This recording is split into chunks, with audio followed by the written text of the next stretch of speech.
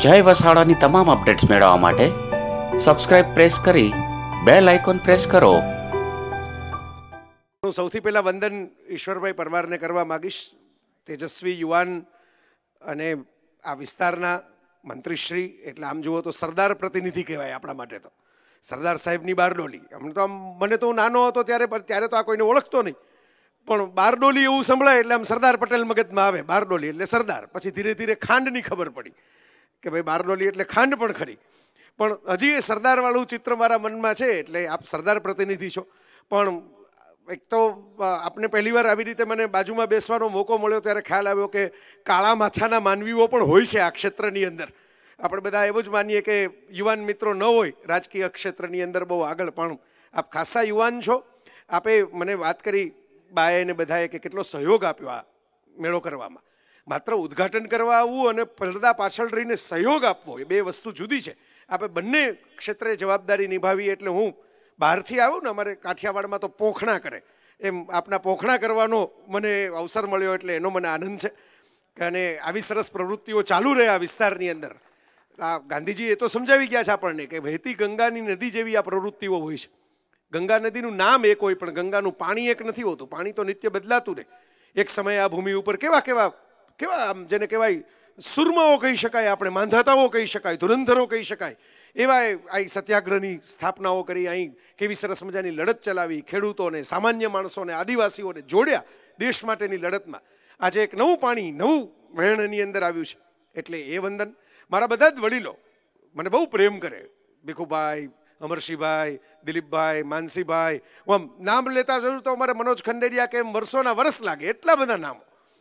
બધા મને દર વખતે આમ લાડ કરે, મને એમ લાગે કે આમ જાણે હું એમનો કોઈક કોઈક મામાની ઘેર બાળકો આવ્યા હોય ને કેવી લહેરમાં આવે ને મોજમાં કરાવે. એમ એમ લાગે કે ભાઈ આમ મામાનોય ચહેરો ખીલી જાય ને ભાણેજનોય ચહેરો ખીલી જાય. એવા સરસ બધા વડીલો મારા બધાને. ફરી એકવાર મારા વંદન અરવિંદભાઈ, બધા જ વડીલો. કેટલા બધા? હવે તો આજે અમુક મિત્રો જો આમ મળવાનો યોગ ન થતો હોય, વારંવાર એ બધા આજે મળી ગયા પાછા. વેડછીથી આવ્યા વ્યારાથી આવ્યા. તો એ બધા ભદ્રાબેનને કેટલા બધા? હું બધાના નામ લેવા બેસીશ તો પાછું મારે જે બોલવાનું છે એ રહી જશે. અમારા પ્રિય ભદ્રાયુભાઈ, મેં એમને કહ્યું કે આજે અને આવતીકાલે તમે મને ને ભદ્રાયુભાઈને મંચ ઉપર જોશો, એટલે રાજકોટ ખાધે પીધે સુખી છે. એવો તમને અંદાજ થશે. આ આ જરા ખાઈ ખાતું પીતું ગામ છે ને અહીં પ્રવાસ પ્રવાસ કરવા જવાય. એટલે હું આ બધા વિદ્યાર્થીઓને આખું સંકુલ કેટલું સરસ. હું તો બધા આચાર્યશ્રી અને બધા ટ્રસ્ટીગણને મળ્યો આ સંકુલની અંદર. બહુ આનંદ થાય. આમ, આપણે સરદાર સંકુલ સરસ મજાની આમ તાજપોર તાજપોર બધા કરે. પણ હવે વાત કરતા હતા કે મૂળ આમ તો સરદાર, આપણું સંકુલ એવું રાખીએ. અને આ સરદાર સંકુલમાં મને પગ મૂકતા હોય તો આનંદ થાય, મને વિદ્યાર્થીઓની ઈર્ષા થાય છે કે આજે આધુનિક ગણાતા મહાનગરોની કોલેજો છે એ શોપિંગ કોમ્પ્લેક્સમાં ચાલતી હોય છે. પાર્કિંગની નીચે જગ્યા ન હોય, ગ્રાઉન્ડ તો જોયું ન મળે, લીલોતરી, હરિયાળી, વૃક્ષો ક્યાંય દેખાય નહીં. એની વચ્ચે આપ બધા જે વાતાવરણમાં ભણવા આવો છો, આમ તો આમ આમ સરસ શ્વાસ લ્યો તો જ તમને થોડું જ્ઞાન મળી જાય એવું સરસ વાતાવરણમાં આખું સંકુલ, આ કોલેજ આખે આખી આવેલી છે. એટલે એના સંચાલકોને પણ વંદન, સરસ રંગોળી, પ્રતિમા બધું મેં જોઈને તમારી સાથે વાત કરું છું. અને કેવો મેળો? હું તો આમ માણસ જ મેળાનો છું. મને કૃષ્ણ બહુ ગમે અને અમારા આઠમના મેળા બહુ પ્રસિદ્ધ. બધા અલગ અલગ જગ્યાએ તરણેતરનો મેળો, જન્માષ્ટમીનો મેળો, આમ તો ગુજરાત એટલે મેળાનો પ્રદેશ. અને મેળા માટે મારી એક પોતાની એક વ્યક્તિગત માન્યતા એવી છે. કેટલા મેળાઓ જાત જાતના આપણે ત્યાં થાય? જુનાગઢમાં શિવરાત્રિનો મેળો થાય, વૌઠાનો મેળો થાય પણ મેળા માટેની મારી માન્યતા એટલી જ છે કે લોકો એવું માને છે કે મેળો હોય ને ત્યાં માણસો આવે. પણ મારું નિરીક્ષણ એવું છે વડીલો, મિત્રો, ભાઈઓ, બહેનો, મારું સાદું નિરીક્ષણ એવું છે કે જ્યાં માણસો આવે ને ત્યાં આપોઆપ મેળો ભરાતો જાય. ગાંધી આવો માણસ હતો. ગાંધી કોણ? કે ગાંધી મેળો. ગાંધી પોતે એકલા નીકળ્યા. હમ તો અકેલે ચલે થે જાનીબે મંઝિલ મગર. લોક સાથ હાથે ગયે દિલાભાઈ અને કારવા બનતા ગયા. આપણે દિલાભાઈ શાયરીઓ બોલું મને દિલાભાઈ યાદ આવે. એ રેડી રેકનર છે આખું અમારું. લાઈવ ગૂગલ છે શાયરીઓ માટે. મને કોઈક શાયરનું નામ ન જડત કોઈક વાર મેસેજ કરું કે આ શાયરનું નામ શોધી દો ને. કારણ કે વોટ્સઅપમાં શાયરીઓ આવે પણ શાયર ન આવે ભેગા. પણ એકલો માણસ એક નીકળો અને વિચાર કરો, એની આસપાસ આખો એણે જીવતે જીવ મેળો રચી દીધો. અમારા યુવાન મિત્રો બેઠા છે. ફ્રેન્ચાઇઝી મોડલ જે આજે બહુ ચાલે છે ને મેકડોનાલ્ડ્સની ફ્રેન્ચ ફ્રાઈઝ છે, એ બેંગ્લોરમાં જાઓ કે બેંકોકમાં જાઓ, એક જ સરખા ટેસ્ટ નહીં મળે. એપલનો સ્ટોર તમે અમદાવાદમાં જુઓ કે અમેરિકામાં જુઓ, એક જ સરખી ડિઝાઇનનો મળે. અહીં વિદેશના એનઆરજી મિત્રો પણ અમારા બે ચાર બેઠા છે. મહેન્દ્રભાઈ આવ્યા પેરિસથી ખાસ. બધા કહી શકશે, પેરિસમાં તમે એનો એપલનો સ્ટોર જુઓ કે તમે એપલનો સ્ટોર સુરતમાં જઈને જુઓ. એ એ જ ડિઝાઇન એ જ સેટઅપ એ જ વ્હાઇટ કલરની દિવાલો, એ જ બ્લેક કલરનું ટાઇટલ આ ફ્રેન્ચાઇઝી મોડલ કહેવામાં આવે છે આને દુનિયામાં. જ્યારે બીજા વિશ્વયુદ્ધ પછી કોર્પોરેટ વર્લ્ડે મલ્ટીનેશનલ કંપનીઓએ ફ્રેન્ચાઇઝી મોડલ શરૂ કર્યું અને એમ કહ્યું કે એક જ સરખી લાઇનમાં અમે અમારી પ્રોડક્ટ અમારા પ્રોડક્ટના પ્રતિનિધિ, તમને ખબર ન પડે મૂળ માણસ દેખાય જ નહીં. પ્રોડક્ટ એક સરખી લાગે, દુકાન એક સરખી લાગે ડિઝાઇન એક સરખી લાગે. ગાંધીજીએ કમાવા માટે નહીં, પણ વેચવા માટે આ ફ્રેન્ચાઇઝી મોડલ સૌથી પહેલું ભારતમાં કરીને બતાવ્યું. કે હું એક વ્યક્તિ છું, પણ હું તો બધે પહોંચી નથી શકવાનો. તો હું શું કરું? તો કેટલી જગ્યાએ બારડોલી તો સદભાગી છે. અહીં સરસ મજાનું બોર્ડ મેં જોયું. એનો ફોટોય પાડી લીધો જ મેં તો. કે બારડોલીમાં ગાંધીજી કેટલી વખત આવ્યા અને કેટલો સમય રોકાણા? વીસ વર્ષ આવ્યા અને મહિનો મહિનો રોકાણા. મહિનો મહિનો ગાંધીજી રોકાય એવો લાભ તો અમદાવાદને નથી મળ્યો એક તબક્કા પછી. ગાંધીજી તો પાછું કીધું હતું કે કાગડા કૂતરાને પોતે મરીશ, પણ સ્વરાજ લીધા વેડા પાછો નહીં આવું. રાજકોટમાં પણ ભણી લીધા પછી આવો લાભ નથી મળ્યો જે બારડોલીને મળ્યો. જ્યાં ગાંધીજી ભણ્યા ત્યાં પણ, જ્યાં જન્મ તે પોરબંદરને આવો લાભ નથી મળ્યો, જે બારડોલીને મળ્યો. તમે વિચાર કરો, તો એ ગાંધીજી બધે તો જઈ નહોતા શકતા. પણ એમણે વેડછીમાં કોઈ જુગતરામ કાકા શોધ્યા.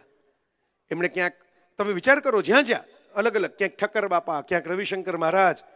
અત્યારે તો એવા વડીલો બેઠા છે કે હું આ યાદી આખી કરી આવી આપણે બધા પાસે તો બસો તો નામ અહીં નીકળી પડે. જ્યાં જ્યાં, અમારા નિરંજના બા એમના ઉત્તમચંદ દાદા, આ વિચાર કરો, આ બધા જ જે લોકો શું છે, આ ગાંધીજીની ફ્રેન્ચાઇઝી છે. પણ આ કમાવાવાળી ફ્રેન્ચાઇઝી નથી, વેચવાવાળી ફ્રેન્ચાઇઝી છે. એક એક વ્યક્તિને તમે જુઓ તેમાં ગાંધીના દર્શન થાય. એની વાત સાંભળો તમને ગાંધીના વિચાર દેખાય. એક એક માણસને તમે જુઓ તો એમ કે ગાંધી કેવા હશે? તો કે આવા હશે. આપણે આપણે, આપણા ગૃહપતિ જેવા છે એવા ગાંધી હશે. જેવા નાનાભાઈ કે મૂળશંકર મોહનલાલ ભટ્ટ હોય, જેવા મનુભાઈ પંચોળી દર્શક હોય, એવા ગાંધી હશે. આ મોડલ અને હું તો જેમની છાતી ઉપર લઈને આજે આવ્યો છું ને હું તો કહું છું કે બરે મને મને જ ગાંધી બાપુ જોવા મળ્યા નહીં. ગાંધી બાપુ કેવા વ્યક્તિમાં, વર્તનમાં, વિચારમાં, એમની આંખમાં કેવી કરુણા ટપકતી હશે? એમના ચહેરા ઉપર કેવું સ્મિત આવતું હશે? તો હું મોરારી બાપુને જ્યારે જોઉં ને ત્યારે મને એમ લાગે કે ગાંધી બાપુ આવા હશે. અને ગાંધી બાપુ આજે જીવતા હશે તો જેમ બાપુ જેમ નવું નવું સ્વીકારતા ને સમજતા ને બધું કેવું કેવું અપનાવતા અને ઉત્સવ કરતા જાય છે, એવો ઉત્સવ પણ કરતા જ હશે. એટલે મેં ખાસ મને ખબર છે કે આજે ડ્રેસ કોડ હતો ખાદીનો. અને મેં આ ટી શર્ટ ને જીન્સ ચડાવ્યું. કારણ કે મને ખબર છે કે મારે જેમની સાથે વાત કરવી છે એ કયા ડ્રેસ કોડવાળા છે મૂળભૂત રીતે. અને હવે તો જીન્સ ફાટેલા આવવા માંડ્યા. જુઓ તમે ધ્યાનથી આમ આગળ બેઠેલા દેખાશે. આ ડિઝાઇન કરે જ લોકો, ખાસ ફાડે.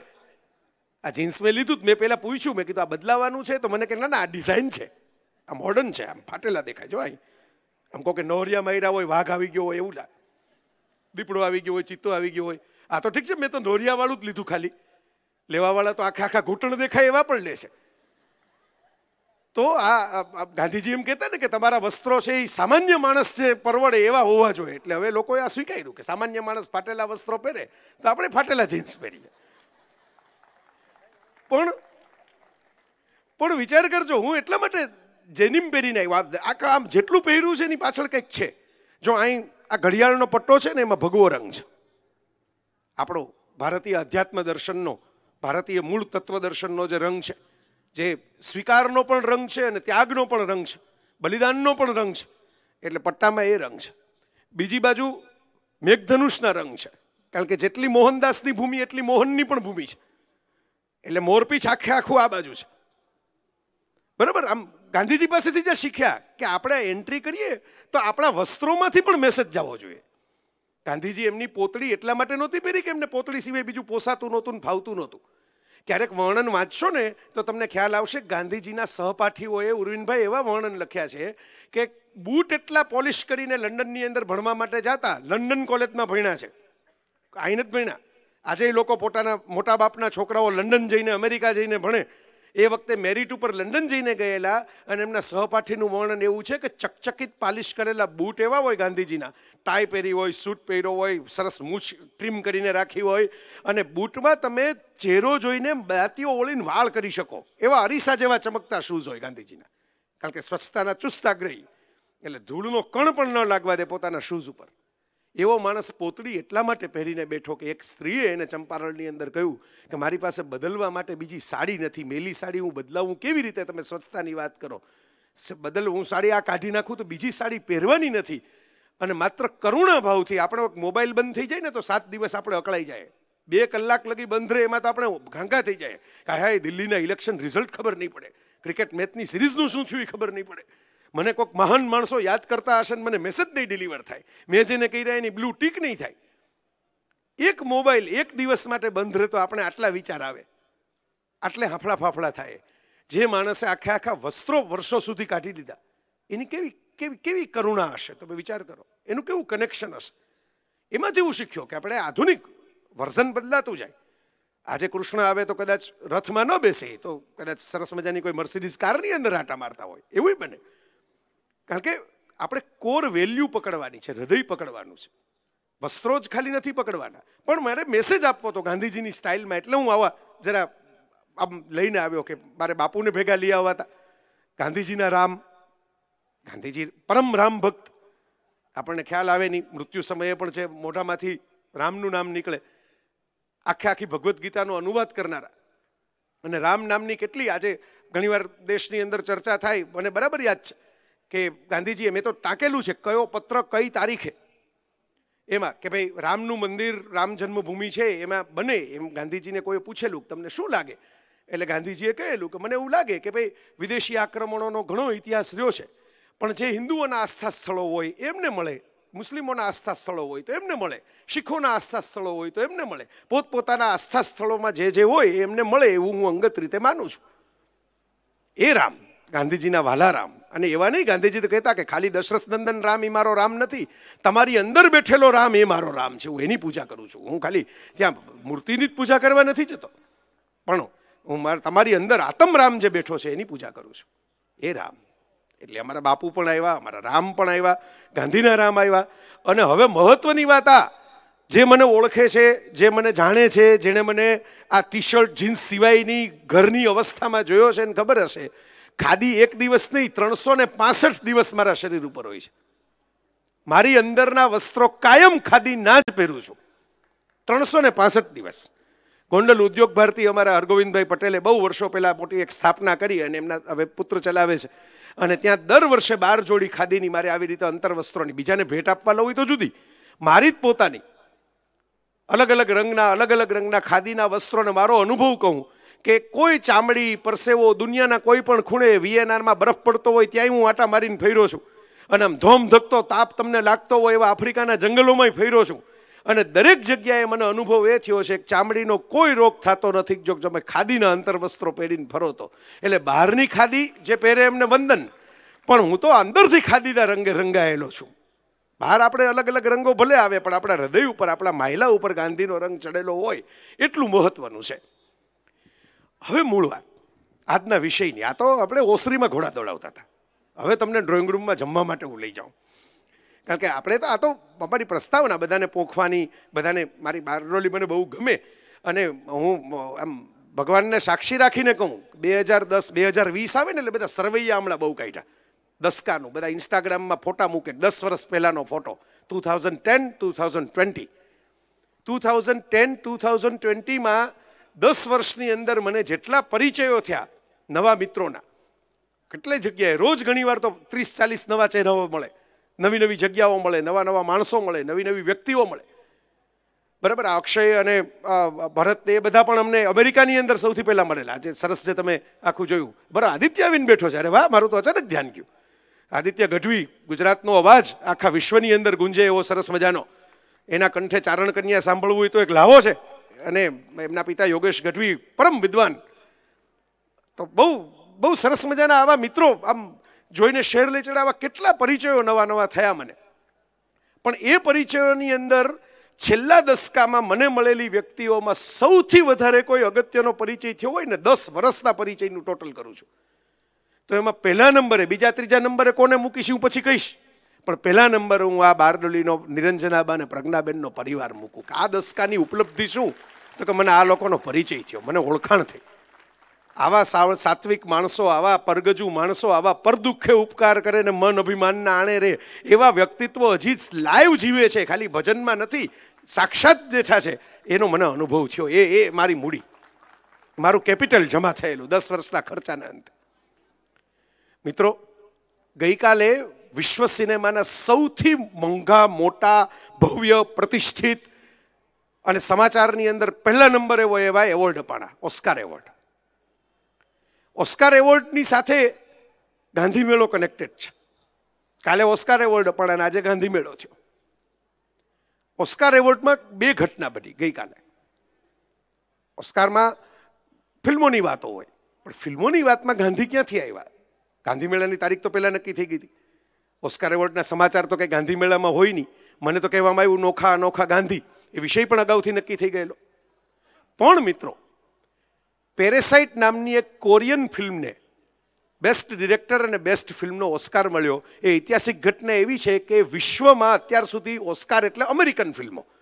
પહેલી વખત અમેરિકાની બહારની ભાષામાં બનેલી કોઈ ફિલ્મને અમેરિકાએ પોતાની ફિલ્મોને સાઈડમાં રાખી અને બેસ્ટ ફિલ્મનો એવોર્ડ આપ્યો. આ પેરેસાઇટની અંદર વાત શું છે? વાત એ છે, આખી કથાનો તો બે બે ભાગમાં લેખ લાંબા લાંબા લેખા છે. પણ હું એ તમને કથા નહીં કહું ફિલ્મ જોયું તો પાછા આપણને કોઈ ખીજાય કે તમે તો વાર્તાએ કહી દીધી પાછી. હવે હું જોવાની મજા આવે. અમે કોલેજમાં ભણતા, તમે સસ્પેન્સ પિક્ચર આવીએ, કાજ ગુપ્ત આવેલું એક પિક્ચર. તો મેં મારા મિત્રને કીધું કે આપણે ગુપ્ત પિક્ચર જોવા જવું છે ને ગીત બહુ સરસ ને બોબી દેઉલ કાજોલ, મનીષા કોઈરાલા એવા બધા મોટા મોટા એક્ટરો એની અંદર તો મારા ભાઈબંધ કે, આ ફલાણા ખૂન કરે છે એ ગુપ્ત ને એમ. એટલે મેં કીધું, હવે જોવા નથી જાઉં હવે તમે ખૂનીનું નામ કહી દીધું, હવે આખું પિક્ચર જોવાની શું મજા આવે? પછી મેં જોયું તો ખરું તોય, પણ પછી મજા ન આવી, કારણ કે પહેલેથી ખબર હતી ખૂન કોણ કરવાનું છે. તો હું વાર્તા નહીં કહું. પણ જે ફિલ્મે વિચાર કરો, ભાષાની સરહદો તોડીને મહાસત્તા અમેરિકામાં ગાબડું પાડી દીધું. એવોર્ડ લેવા માટે કઈ કક્ષાની ફિલ્મ હશે? કે અમેરિકનોએ પોતાની ફિલ્મ સાઈડમાં રાખીને કોરિયાની ફિલ્મને એવોર્ડ આપી દીધો?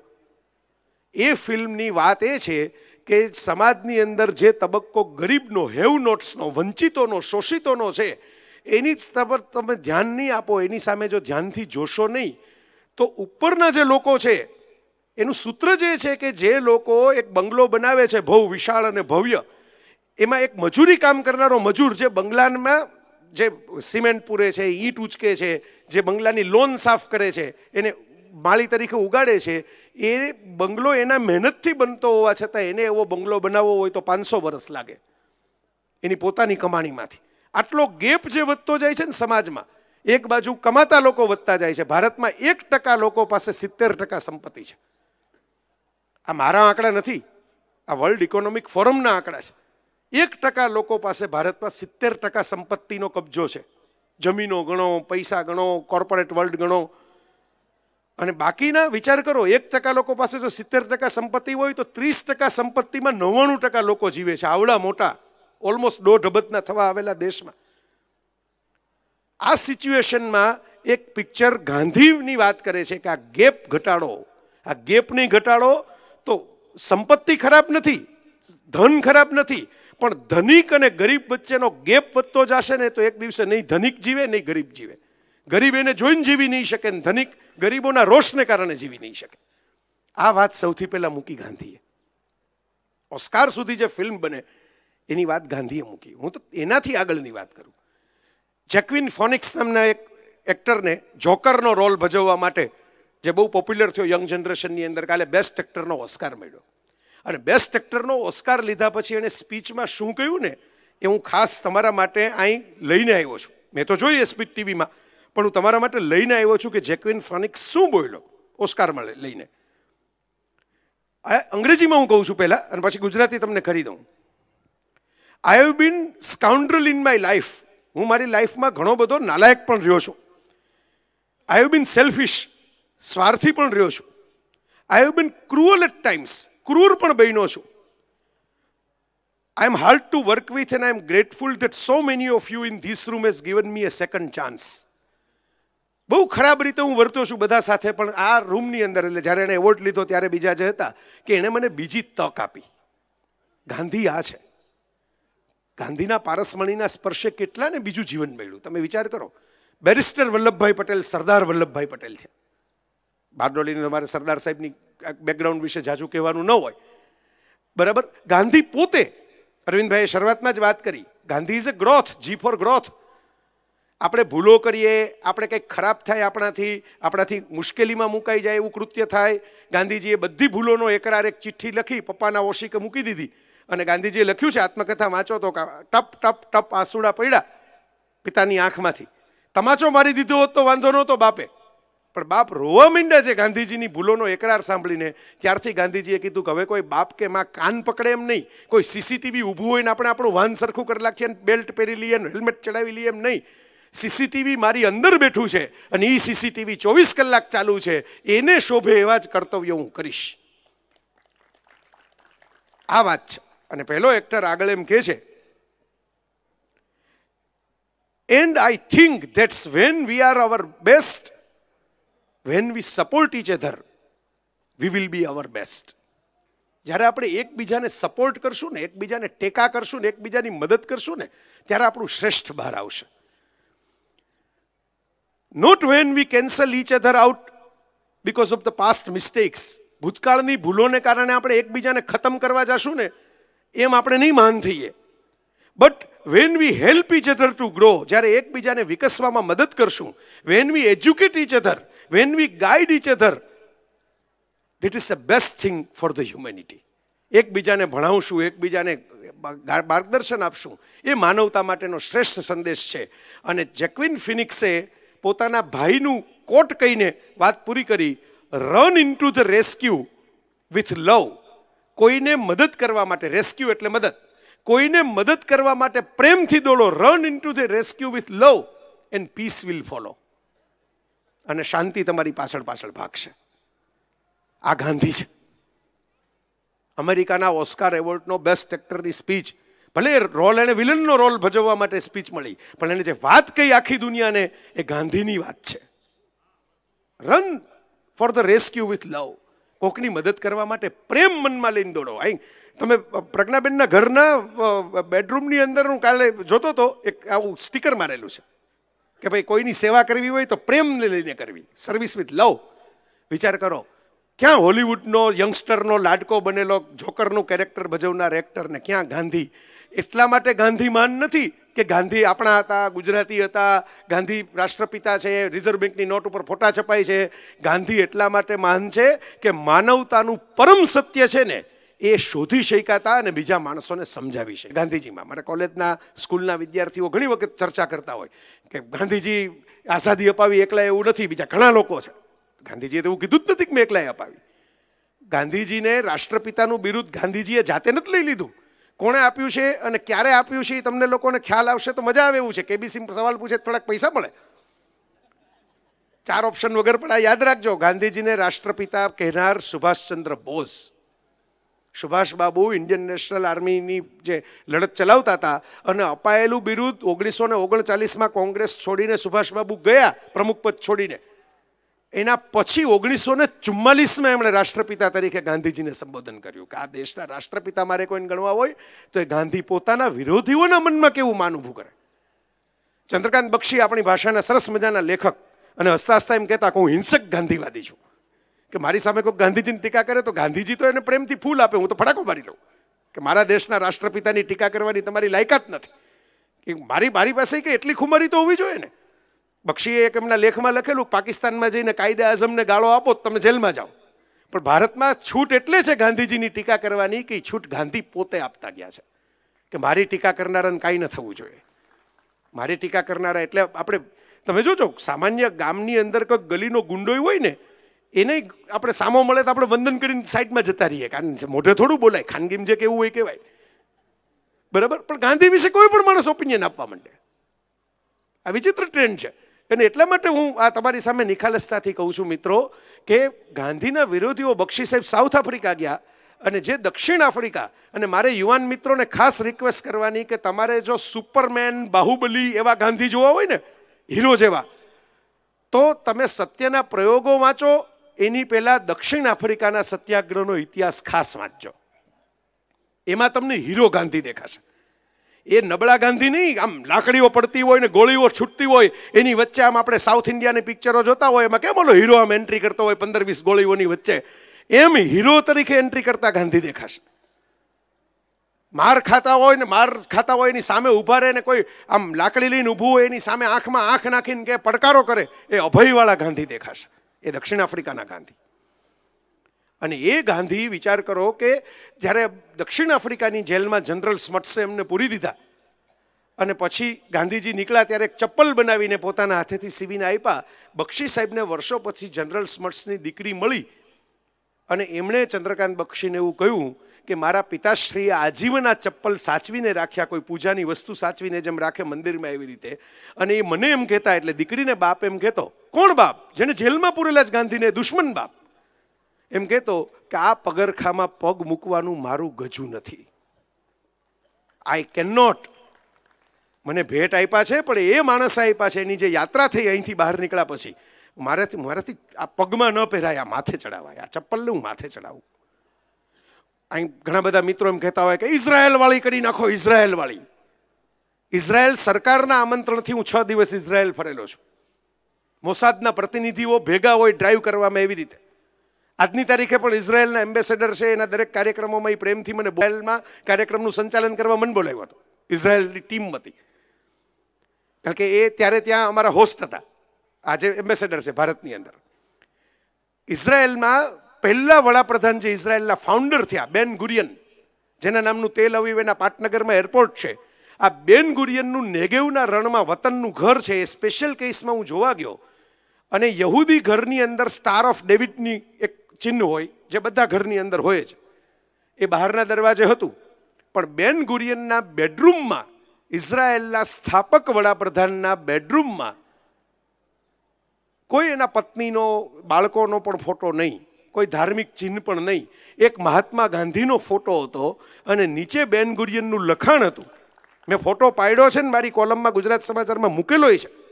એકવાર હવે અમારે આ પ્લેનેટ જેવી વીડિયો ચેનલ શરૂ કરી છે ને એમાં એ ફોટાનું શૂટિંગ જ મૂકી દેવું છે એટલે લોકોને ખ્યાલ આવે કે આવું છે અંદર. ફોટાની નીચે બેન ગુરિયને એમ લખ્યું હતું કે ભયાનક રક્તપાત પછી હજી અમે એક નવો દેશ બનાવવાની કોશિશ કરી રહ્યા છીએ. ત્યારે રક્તપાત રોકવાના પ્રયત્નો કરીને એક માણસે આખે આખો એક નવો દેશ, એક સંવિધાન નીચે કેમ રચવાની મહેનત કરી હશે? એ પ્રેરણા લેવા માટે હું જ્યારે સવારે ઉઠું ત્યારે આ ચહેરો મને દેખાય એટલે હું મહાત્મા ગાંધીનો ફોટો અહીં રાખું છું. આ નીચે લખાણ છે એમના હસ્તાક્ષરમાં. પણ આપણે આ ખ્યાલ નથી કે બહાર કેટલી વેલ્યુ છે મહાત્મા ગાંધીની. લોકો હું વિદેશની અંદર ફરતો, બર્લિનમાં મને આ જેમ આ બધા વિદ્યાર્થીઓ બેઠા છે ને કોલેજની છોકરીઓનું ગ્રુપ મળ્યું. બર્લિન વોલ પાસે. અને મેં એમને હું એકલો ફરતો હતો એટલે મેં એમને ફોટો પાડવાની રિક્વેસ્ટ કરી કે મારો આ બર્લિન વોલ પાસે ફોટો પાડી દો અને એટલે એણે મને પૂછ્યું કે ભાઈ એશિયન કારણ કે પેલી ચામડીના કલરને કારણે એશિયન એટલી ખબર પડે. એટલે મેં કીધું, યા એશિયન ફ્રોમ ઇન્ડિયા એટલે એ જે છોકરીએ મારો ફોટો પાડ્યો ને એણે એમ કીધું ફ્રોમ ગાંધી ફ્રોમ ઇન્ડિયા નહીં ફ્રોમ ગાંધી તમે વિચાર કરો. જેનું મને તો નામે નથી ખબર કે કોણ, પણ એક કોલેજમાં ભણનારી છોકરીઓને પણ એટલી ખબર છે કે ઇન્ડિયા શું? ઇન્ડિયા એટલે ગાંધી. ન્યુયોર્કના મેનહટનની અંદર હું હમણાં ગયા વર્ષે જ ફરતો હતો, મેં ફોટો એ મૂક્યો હતો. બે પેઇન્ટિંગ થતા હોય ત્યાં ફૂટપાથ ઉપર બેસીને લોકો પેઇન્ટિંગ કરે. પેઇન્ટિંગ એક ભાઈ બનાવતા હતા.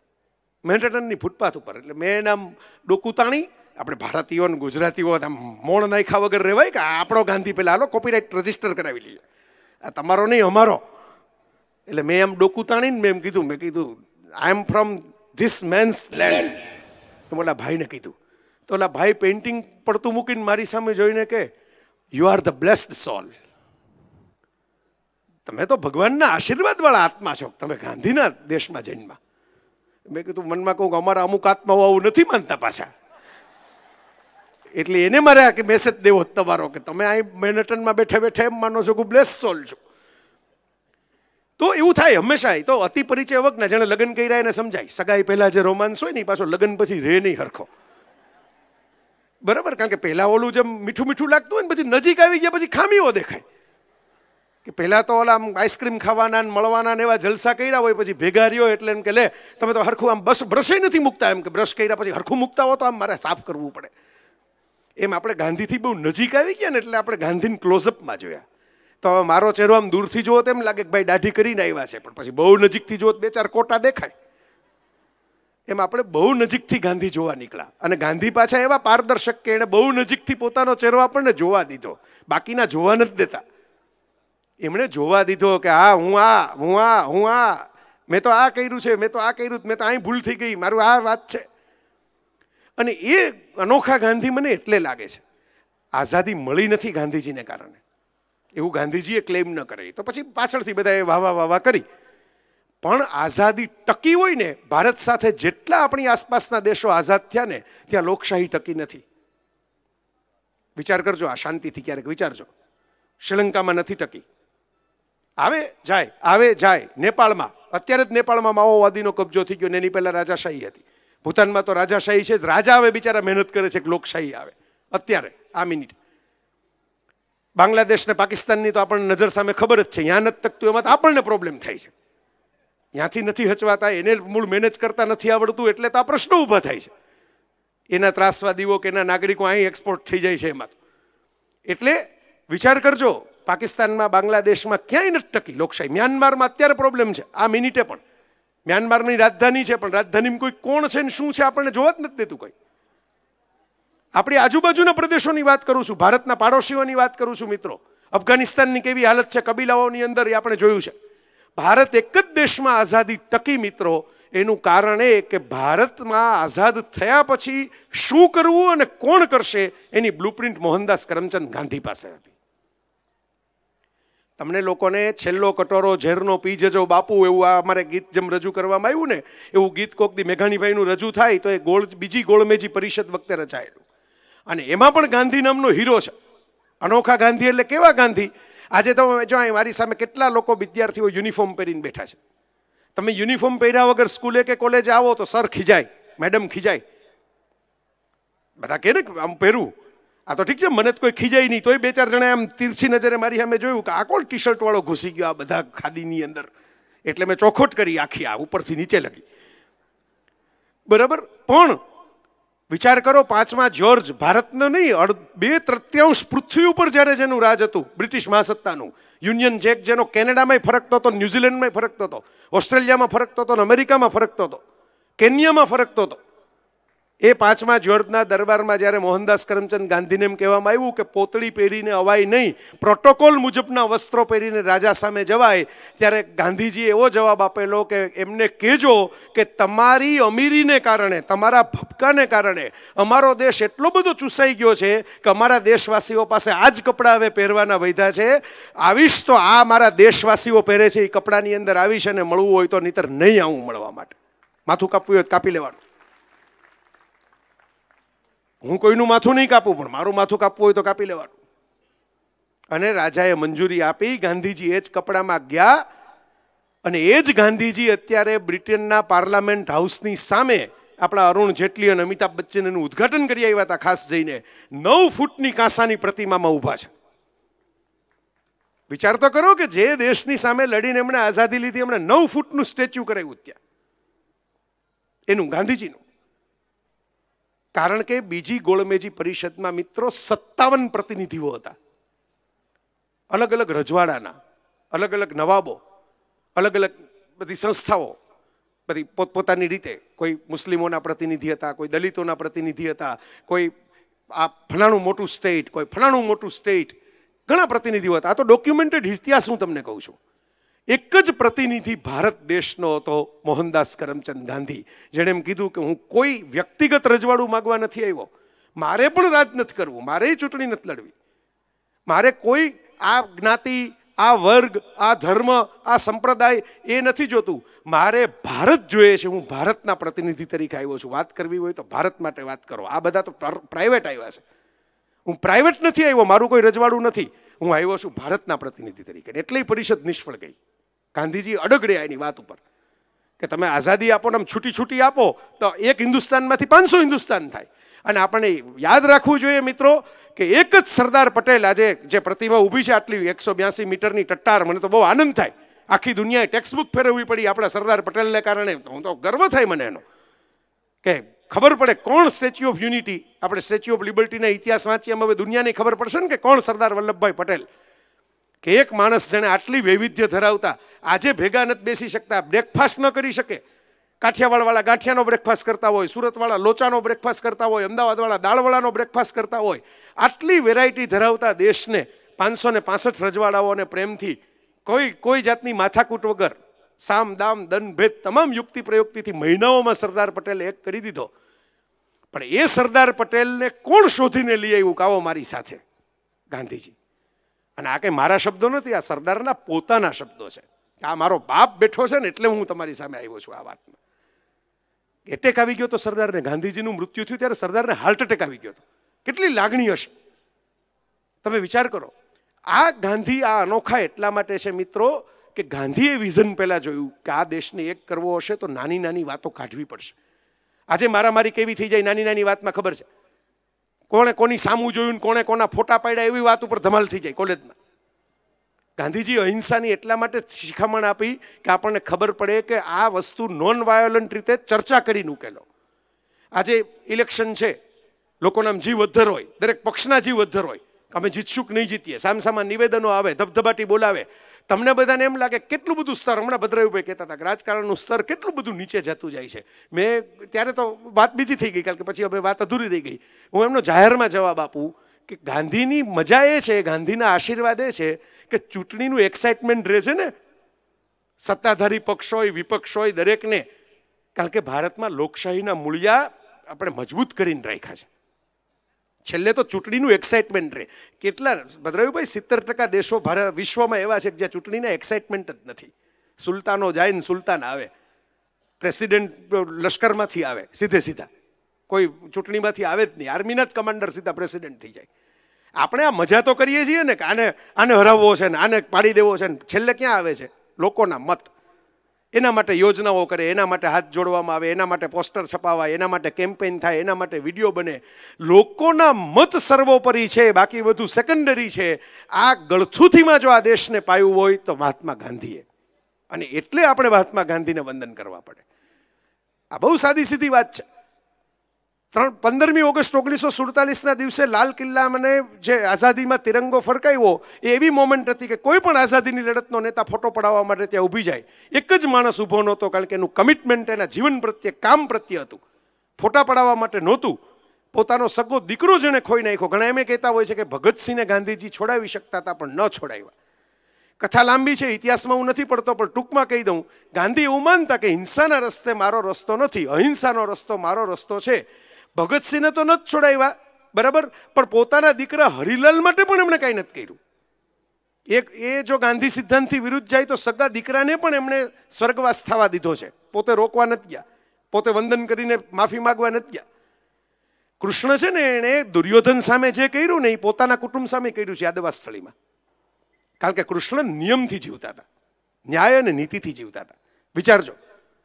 તો મિત્રો કેટલીક સરસ નાનકડી વાતો કરીને મારી વાતનું સમાપન કરું. નાની નાની વાતો. આ તો મેં તમને મોટી મોટી વાતો કરી. મેક્રો ગાંધી બતાવ્યું. હવે માઇક્રો ગાંધીમાં આપણે જવું છે. આમાંથી કેટલા લોકોને મોલમાં આટા મારવા ગમે એ મને કહો. સરસ મજાના મોલ હોય ચકચકી ઝગમગાટવાળા. એમાં આટા મારવા કેટલાને ગમે એમ કહો. આમ ખાલી હાથ ઊંચો કરો ને, બોલવાની જરૂર નથી. આ મોટાઓએ કર્યા, પણ નાનાઓને બીક લાગે છે. બરાબર? અમુક નાનાઓ એવાય હશે જેને જોયું જ નહીં હોય. અમને બતાવો તો ખરા મોલ પછી કે વાત કરો. મોલ કેવા હોય? જો આ એ ગાંધી છે. એને ખબર હતી કે આ દેશમાં એવી પ્રજા પણ વસે છે કે જેને તમે મીઠાની વાત કરો તો મીઠાની કાંકરી નથી જોઈ. ગોળની વાત કરો તો ગોળ નથી જોયો. કપડાની વાત કરો તો કપડાં નથી જોયા. પણ પહેલો મોલનો કોન્સેપ્ટ ભારતની અંદર ગાંધીજીએ શરૂ કર્યો અપના બજાર, સહકારી મોલ. દરેક વિસ્તારમાં પોતપોતાની ચંપલથી લઈ અને ચટાઈ સુધીની વસ્તુઓ એક જ જગ્યાએ મળે. તેલથી લઈ અને ત્રિકમ સુધીની વસ્તુઓ એક જ જગ્યાએ મળે. એવી એક જગ્યા ગાંધીજીની આ બિઝનેસ સેન્સ પણ હતી. પણ કેવો બિઝનેસ? કમાવાનો નહીં. વહેંચવાનો એકબીજાની ટેલેન્ટ એકબીજા સાથે શેર કરવાનો. ઘણા લોકોને ભદ્રાયુભાઈને કાલે પૂછજો, ફરમાઈશ, હું હું તમારા વતી ફરમાઈશ કરી દઉં. કે તમે ઓલો લેખ લખ્યો હતો ને મનુભાઈ પંચોળીને વિજયાબેનવાળો એની વાતો આ લોકોને કરજો. એટલે ખબર પડે કે ગાંધીજીના આશ્રમની અંદર એક દીકરી રહેતી હોય, એના પ્રેમની અંદર એક છોકરો પડ્યો હોય, પછી ગાંધીજી ખીજાણા હોય, અને ગાંધીજી એમ કીધું હોય કે એક જ શરત, લગન બગનની કાંઈ ગેરંટી નહીં, પણ જેટલા પત્રો આવે એ મને વાંચવા દેવાના. પછી હું નક્કી કરું કે કોણ છો તમે બે જણા? કેવા છો? એટલે વિજયાબેનને મનુભાઈના જે પત્રો આવતા, મનુભાઈ તો બહુ યુવાન હતા ત્યારે એ ગાંધીજી સેન્સર બોર્ડની જેમ જેમ સેન્સર બોર્ડવાળા અનસેન્સર્ડ ફિલ્મ જોતા હોય ને, આપણે સેન્સર થયેલી ફિલ્મ જોઈએ, પણ એને તો આખી ફિલ્મ જોતા હોય, પછી કાપવાનું ક્યાંય નક્કી કરતા હોય. એમ અનસેન્સર્ડ પત્રો લવ લેટર્સ ગાંધીજી વાંચે. અને વાંચી વાંચી વાંચી, વાંચીને પછી ગાંધીજી નક્કી કર્યું કે, હા, આ બરાબર લાગે છે. પછી બોલાવીને એમ કીધું છોકરો તો હોશિયાર છે. પછી મનુભાઈ પરીક્ષામાં પાસ થયા ને પછી ગાંધીજીએ કંઈક બદરાયું એવું કહ્યું હતું ને કે ભાઈ જો તમારા મા બાપ ના પાડતા હોય તો હું બેઠો છું ને કન્યાદાન કરવા વાળો હું પરણાવી દઈશ. લાયક જોડી છે. બોલો, આમ ગાંધીજીને આમ મોઢું જોઈને ઘણા અમારા જુવાન મિત્રોને એમ લાગે છે કે આ ડોસાનું પ્રેમમાં ખબર પડતી હોય છે. બરાબર મુલકરાજ આનંદ નામના એક બહુ મોટા લેખક લંડનમાં રહેતા હતા. મૂળ ભારતના, પણ બ્રિટિશર થઈ ગયા હતા સ્વભાવે પણ. અંગ્રેજીમાં એમણે અછૂત નામની નવલકથા લખી. એ સમયે અસ્પૃશ્યતા નિવારણનું કામ પણ ગાંધીજીએ ઉપાડેલું. ગાંધીજી ખાલી આઝાદીના જ માટે લડવૈયા નહોતા. વિધવા વિવાહના પણ લડવૈયા. સહશિક્ષણ અત્યારે આ છોકરા છોકરીઓ ભેગા ભણે જ ને જે કોલેજોમાં. તમારે યાદ રાખજો, જેટલા છોકરા છોકરીઓ કોલેજમાં ભેગા ભણે છે એને આભાર ગાંધીજીનો માનવાનો. કારણ કે કો એજ્યુકેશનના સૌથી મોટા વકીલ ગાંધીજી હતા. કે ભાઈ આવા ભાગ પાડીને સંસ્થાઓ ન ચલાવો એ ધાર્મિક સંસ્થા જેવું લાગે છે. શિક્ષણ સંસ્થા છે, એની તો મોરલ એટલું ઊંચું હોવું જોઈએ જેમાં દીકરો દીકરી બાજુમાં બેસીને ભણી શકે. આ દલીલ ગાંધીજીની. એટલે તમે વિચાર કરો, ઓશો રજનીશે તો એવું કહેલું, ગાંધીજીની ટીકા કરતી પ્રવચનમાળા કરી, રજનીશે. અમારા રાજકોટમાં જ કરી, રાષ્ટ્રીય શાળામાં. એમાં હાજર રહેલા દાદાએ મને આ વાત કરેલી ધીરુ દાદા પાંચ દિવસ લગી ગાંધીજીની આ પદ્ધતિ ખોટી, આ પદ્ધતિ ખોટી, આ ખોટું, આ હિંસા ન ચાલે, આમ ન ચાલે, આ બધું એમણે કહ્યું. પાછું એમે કીધું, ઓશોએ સરસ વાત કરી, બાપુને બહુ ગમે છે વાત, અમારા મોરારી બાપુને. એ કે એમાં એવું હોય કે દરેક દેશની અંદર મોટી મોટી લડત ચાલતી હોય ને, ત્યારે કેટલાક ડબ્બાઓ રેડી બેઠા હોય, જે એન્જિન નીકળે એની પાછળ જોડાઈ જવા માટે. એ ગાંધીજીનું એન્જિન હોય તો ગાંધીજીના એન્જિનમાં જોડાઈ જાય. બરાબર, એ નરેન્દ્રભાઈનું એન્જિન હોય તો એના એન્જિનમાં જોડાઈ જાય. એ અમિતાભ બચ્ચનનું એન્જિન નીકળે તેના એન્જિનમાં જોડાઈ જાય. એને એ ડબ્બા જ છે, એને બીજું કંઈ થવું જ નથી, પણ જે એન્જિન હોય ને એની પાછળ જોડાવા માટે લાગ જોઈને બેઠા હોય. તો ઓશો તો જરા બોલવાની અંદર આકરા હતા અને આમ ટોણા બહુ મારે. એટલે એમણે હળવેકથી એમ ટોણો માર્યો કે મુજે ગાંધી સે કોઈ દિક્કત નહીં હે. લેકિન જે ડિબ્બે जुड़ गए હે, ગાંધી કે નામ સે, ગાંધી કા નામ લેતે હુએ, ઉનસે બહુ દિક્કત હે. એમ કરીને આટલું બધું કહ્યું. પછી છેલ્લે દિવસે પ્રવચનમાં રજનીશે એમ કીધું પ્રવચનમાળા પૂરી કરતી વખતે કે આપ લોગ યહાં पे आए उसके लिए मैं गांधी जी का उपकार मानता हूँ એટલે ઓલા દાદાએ બાજુમાં જઈને જે આયોજક કમિટીમાં એક હતા એણે એમ કીધું કે તમે આટલી બધી ગાંધીજીની નીતિઓની ટીકા કરી હવે ઉપકાર શું માનવા બેઠા છેલ્લે તમારો તો આ સ્વભાવ નથી ખોટા ખોટા વાહ વાહ કરવાનો એટલે રજનીશે એમ કીધું કે કિતની સારી બહેને આકે બેઠી हुई थी सभा में अब बहनें बाहर आके सभा में बैठे ये वातावरण का निर्माण ही गांधी ने किया तो अगर गांधी नहीं पैदा हुआ होता तो ये ऑडियंस कहां से आता વિચાર કરો કે કયા દિશની ખેલદિલી પણ કહેવાય અને એ સચોટ વાત પણ ખરી મને તો આમ ઘણીવાર આમ બહુ નિખાલસ છું આ બધા આ આમ બારડોલીમાં મને શું કામ આવવું ગમે કેમ વિજય ગાંધી તો છે ગાંધી તો આખા ગુજરાતના આખા ભારતના છે મને કેમ બારડોલી થોડુંક વાલું લાગે આમ બારડોલીના ગાંધીવાળા મિત્રો છે ને, આમ ચહેરા ઉપર હસીને આપણું સ્વાગત કરે. અમુક જગ્યાએ તો આપણે જાય ને ગાંધીયન સંસ્થાઓમાં, તો એમ લાગે કે આ ભાઈને કબજિયાત હશે આઠ દસ દિવસથી? એટલે કંઈક એરડિયું આપવું કે કંઈક ઓલું કેસ્ટર ઓઇલનું ડબલું બબલું લઈને આપીએ કે એનો ઓલા લેક્સેટિવ બેક્સેટિવ આપીએ તો જરાક હળવા થાય ને જરાક આમ હળવા હળવા થઈને આપણી સામે હસે, તો આમ આપણે આમ રાહ જોઈએ કે આમ જરાક જરાક સ્માઇલ કરે ને, કંઈક જીએસટી તો નાખ્યો નથી કોઈ સ્માઇલમાંથી અઢાર ટકા ક્યાંક પી લેશું. હસશો તો. આવું બહુ થાય. હું નાનો હતો મને પુસ્તકો લેવાનો બહુ શોખ, બબે થેલા ભરી ભરીને ભદ્રાયુભાઈ દ્રશ્યો જોયા છે. પુસ્તક મેળામાં જાઉં તો અમારે એક ગાંધીયન વડીલે આવ્યા હતા. એ પુસ્તક મેળાની અંદર આવ્યા એટલે હું તો આમ કુતૂહલથી, હું તો ખરીદદાર તરીકે ગયો હતો. મારે કંઈક પુસ્તક ખરીદવા હતા. એટલું આમ એક પાનું મેં આમ ખોલ્યું ને પુસ્તકનું. પેલા ભાઈ આમ આમ જાણે મેં એમનું આમ આમ કંઈક આમના જભોમાં ફાડી નાખ્યો હોય ને, એમ કવડાક આમ લાલ આંખ કરીને કે એને અડવાનું નથી. અરે તમે કીધું હું લઉં કેવી રીતે? હું અડું નહીં, જોઉં નહીં, અંદર શું લખ્યું છે એટલે મેં કીધું, સાહેબ, પણ મારે લેવું હોય તો શું કરવું નહીં, પુસ્તકો ખરાબ થઈ જાય. બહુ સ્પર્શવાના નહીં પુસ્તકોને. એટલે હું તો બે ફૂટ આઘો જતો રહ્યો પુસ્તકના ટેબલથી. પછી આમ કરીને મેં જોવાની ટ્રાય કરી. હવે બધા પુસ્તકો ગાંધીજીના પુસ્તકોમાં ટાઇટલ ઉપર કંઈ હોય જ નહીં. ખાલી નામ લખેલું હોય. કે ચિત્ર હોય તો આપણને અંદાજ આવે કે આની અંદર શું હશે. એટલે મેં આમ પછી મારાથી રહેવાનું નહીં એટલે મેં કીધું મેં કીધું, સાહેબ, જોવું તો પડશે હો, મારે લેવું કેવી રીતે? આમાં અંદર મારે કંઈક બે પાના વાંચું. એટલે મને કે કે, આ શિસ્તની અંદર જો નહીં રહ્યો તો આ પુસ્તક મેળામાં તમારે આવવું નહીં. હવે મેં એવી શું અશિસ્ત કરી નાખી આવો સવાલ પૂછીને મને આજની તારીખ નથી સમજાતું. બરાબર? એટલે આપણે તો એમને કાઢી મૂક્યો, મને એમ માનીને નીકળી જ ગયા ત્યાંથી કાંઈ બેસાય જ નહીં જાજી વાર વળી આવ થોડીક વાર બેસું તો હમણાં પુસ્તકે પુસ્તકે મારશે આપણને. આ અહિંસાની વાત કરતા કરતા એ ભાઈ જે હિંસક થઈ ગયા હતા. અને એ એટલા માટે પુસ્તકનો અડવન નહીં, બસ લઈ લેવાના. તમારા મામા મામ કરીને કહેવાનું કે લઈ લ્યો એમ. એટલે હું હસતા હસતા કહું છું કે ગાંધી વિચારને આવા ડબ્બાઓ બહુ નીડા. ઓશોની ભાષામાં કહું તો. ઓરિજિનલ ગાંધી સુધી આપણે પહોંચ્યા જ નહીં. પછી અમારી નવી પેઢીના મિત્રોએ એ મોડલ જોયું ને એમ છું ગાંધી આવા જાય છે ગાંધી આપણને મળતા જ નહીં હોય. ગાંધી આવા જ ઘુરકિયા કરતા હશે પડવા જાવ. ગાંધી નાના બાળકો સાથે બેસતા, એની યારે રમૂજ કરતા. કોઈક હસ્તાક્ષર માગવા આવે તો હળવેકથી હરિજન ફંડમાં પાંચ રૂપિયા લઈ લેતા. કે લાવો એમ, એક છોકરી આવી કે મારી પાસે મારે બાપુ હસ્તાક્ષર જોઈએ છે એટલે ગાંધી કે મફતમાં ન આપું. તારે મને ફાળો આપવો પડે. કે મારી પાસે કંઈ છે જ નહીં એટલે ગાંધીજી કે બુટ્ટી તો છે ને કાનમાં પહેરેલી, સોનાની, આપી દે. છોકરીએ તો ઉતારીને આપી દીધી, બાપુએ તો પાછી આપી દીધી. કે ભાઈ એમ નહીં, પણ છોકરીએ કીધું કે ના, હવે તો રાખો જ. એટલે પછી બાપુ જરાક કહે છે, બાપુ કે બેટા એ તો મજાક કરતો હતો તારી સાથે. એટલે ગાંધીજી કે પેલી દીકરી કે તમે મજાક કરતા તમારી સાથે. પણ મારી જો કાનની બુટ્ટી મહાત્મા ગાંધીના હાથમાં ગઈ હોય, તો હવે હું તો મારી પેઢીઓની પેઢીઓને કહીશ કે મેં ગાંધીને આપી હતી. ગાંધી આમ હાથ કરીને મારી પાસે બુટ્ટી લઈ લીધી હતી એમ. મને આવો મોકો મળશે, તમે રાખો જ હવે. હા, ગાંધી. રમૂજી હોય, વાત કરી, એક કપડાં ધોવા બેસી ગયા હતા. રૂમની અંદર, બાથરૂમનું બારણું બંધ કરીને. તો બધા આશ્રમવાસીઓમાં હોવા થઈ ગઈ ને બધા કૂદકા મારતા મારતા આવ્યા કે, હે, તમે બાપુ, કપડાં ધોઈ કે હા, કોકવાર મને અનુભવ થવો જોઈએ ને કે તમે કેટલો શ્રમ કરતા હશો. એક ભાઈ સાઉથ ઇન્ડિયાથી આવેલા, તે બીમાર પડેલા. ગાંધીજીના આશ્રમમાં તો પલાળેલી દ્રાક્ષ પણ ઘણી ગણીને ગાંધીજી ખાતા હોય. કડવા લીમડાનો રસ પીતા હોય. પેલા ભાઈ બીમાર પડ્યા તો ગાંધીજી માથે હાથ ફેરવવા માટે આવ્યા. યુવાન મિત્ર, કોલેજમાં ભણે એવો, દક્ષિણ ભારતનો.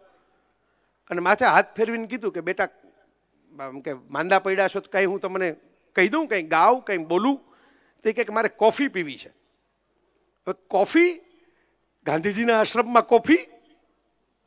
ગાંધીજી તો એ ડબ્બા એ કસ્તુરબાયા તો સાચવીને રાખ્યા હતા બે ડબ્બા એટલે નીકળ્યા. બાકી તો કોફી ન નીકળે. અને એ કોફી પીવી છે એવું કહ્યા પછી ગાંધીજી થોડીક વાર બહાર ગયા. એટલે પહેલાં જુવાનને એમ થયું, સાઉથ ઇન્ડિયનોને કોફી બહુ ભાવે. તો એમણે એમ થયું કે ભાઈ, કોકને મોકલશે કદાચ કોફી લઈને બહારથી. થોડોક અવાજ થયો ત્યારે ખબર પડી કે ટ્રેમાં ગાંધીજી પોતે કોફી બનાવી અને પ્યાલો લઈને બેઠા હતા કે આ જુવાનીઓ બિચારો હેરાન થાય છે, તો એક કપ કોફી પીવડાવું. ગાંધીજી એટલા ફ્લેક્સિબલ હતા. જેલની અંદર કસ્તુરબા અત્યંત બીમાર હતા ને, ગાંધીજીને બે ભાવતી વાનગીઓના નામ તમને બધાને ખબર છે? પૂરણપોળી ને ભજીયા. પછી છોડી દીધું એમણે અસ્વાદ વ્રતમાં. અમને આમ, અમે ભાઈ શ્રી રમેશભાઈ ઓઝા જગદીશ ત્રિવેદીએ સરસ મજાની સ્કૂલ બનાવી સુરેન્દ્રનગર પાસે દાન આપીને, ગરીબ બાળકોની. એના ઉદ્ઘાટનમાં અમને બધાને બોલાવ્યા હતા. એમાં ભાઈશ્રી આમ દરેક રૂમ ઉપર નામ લખ્યું હતું. તો ભાઈશ્રી આમ ઉદ્ઘાટક તરીકે બધે નીકળ્યા.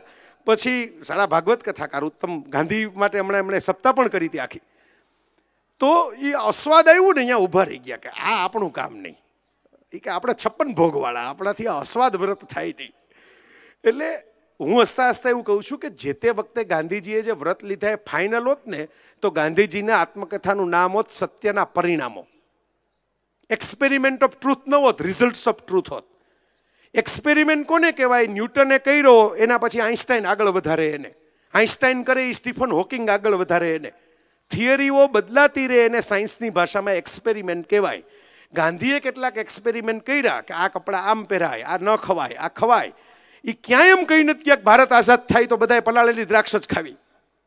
અને ખબરદાર જો કોઈ સમોસા ખાધા તો, ખબરદાર જો કોઈ પાસ્તા ઈડાત તો. એટલે પ્રયોગ પોતાના માટે કરી ગયા. મિત્રો, પૂરણપોળી ખાવાનું કસ્તુરબાને મન થયું. અને કસ્તુરબા પૂરણપોળી ખાવાનું મન થયું ને એમની તબિયત એવી કે પચે જ નહીં પૂરણપોળી. અને જવાનું તો હતું પણ વહેલા જતા રહે.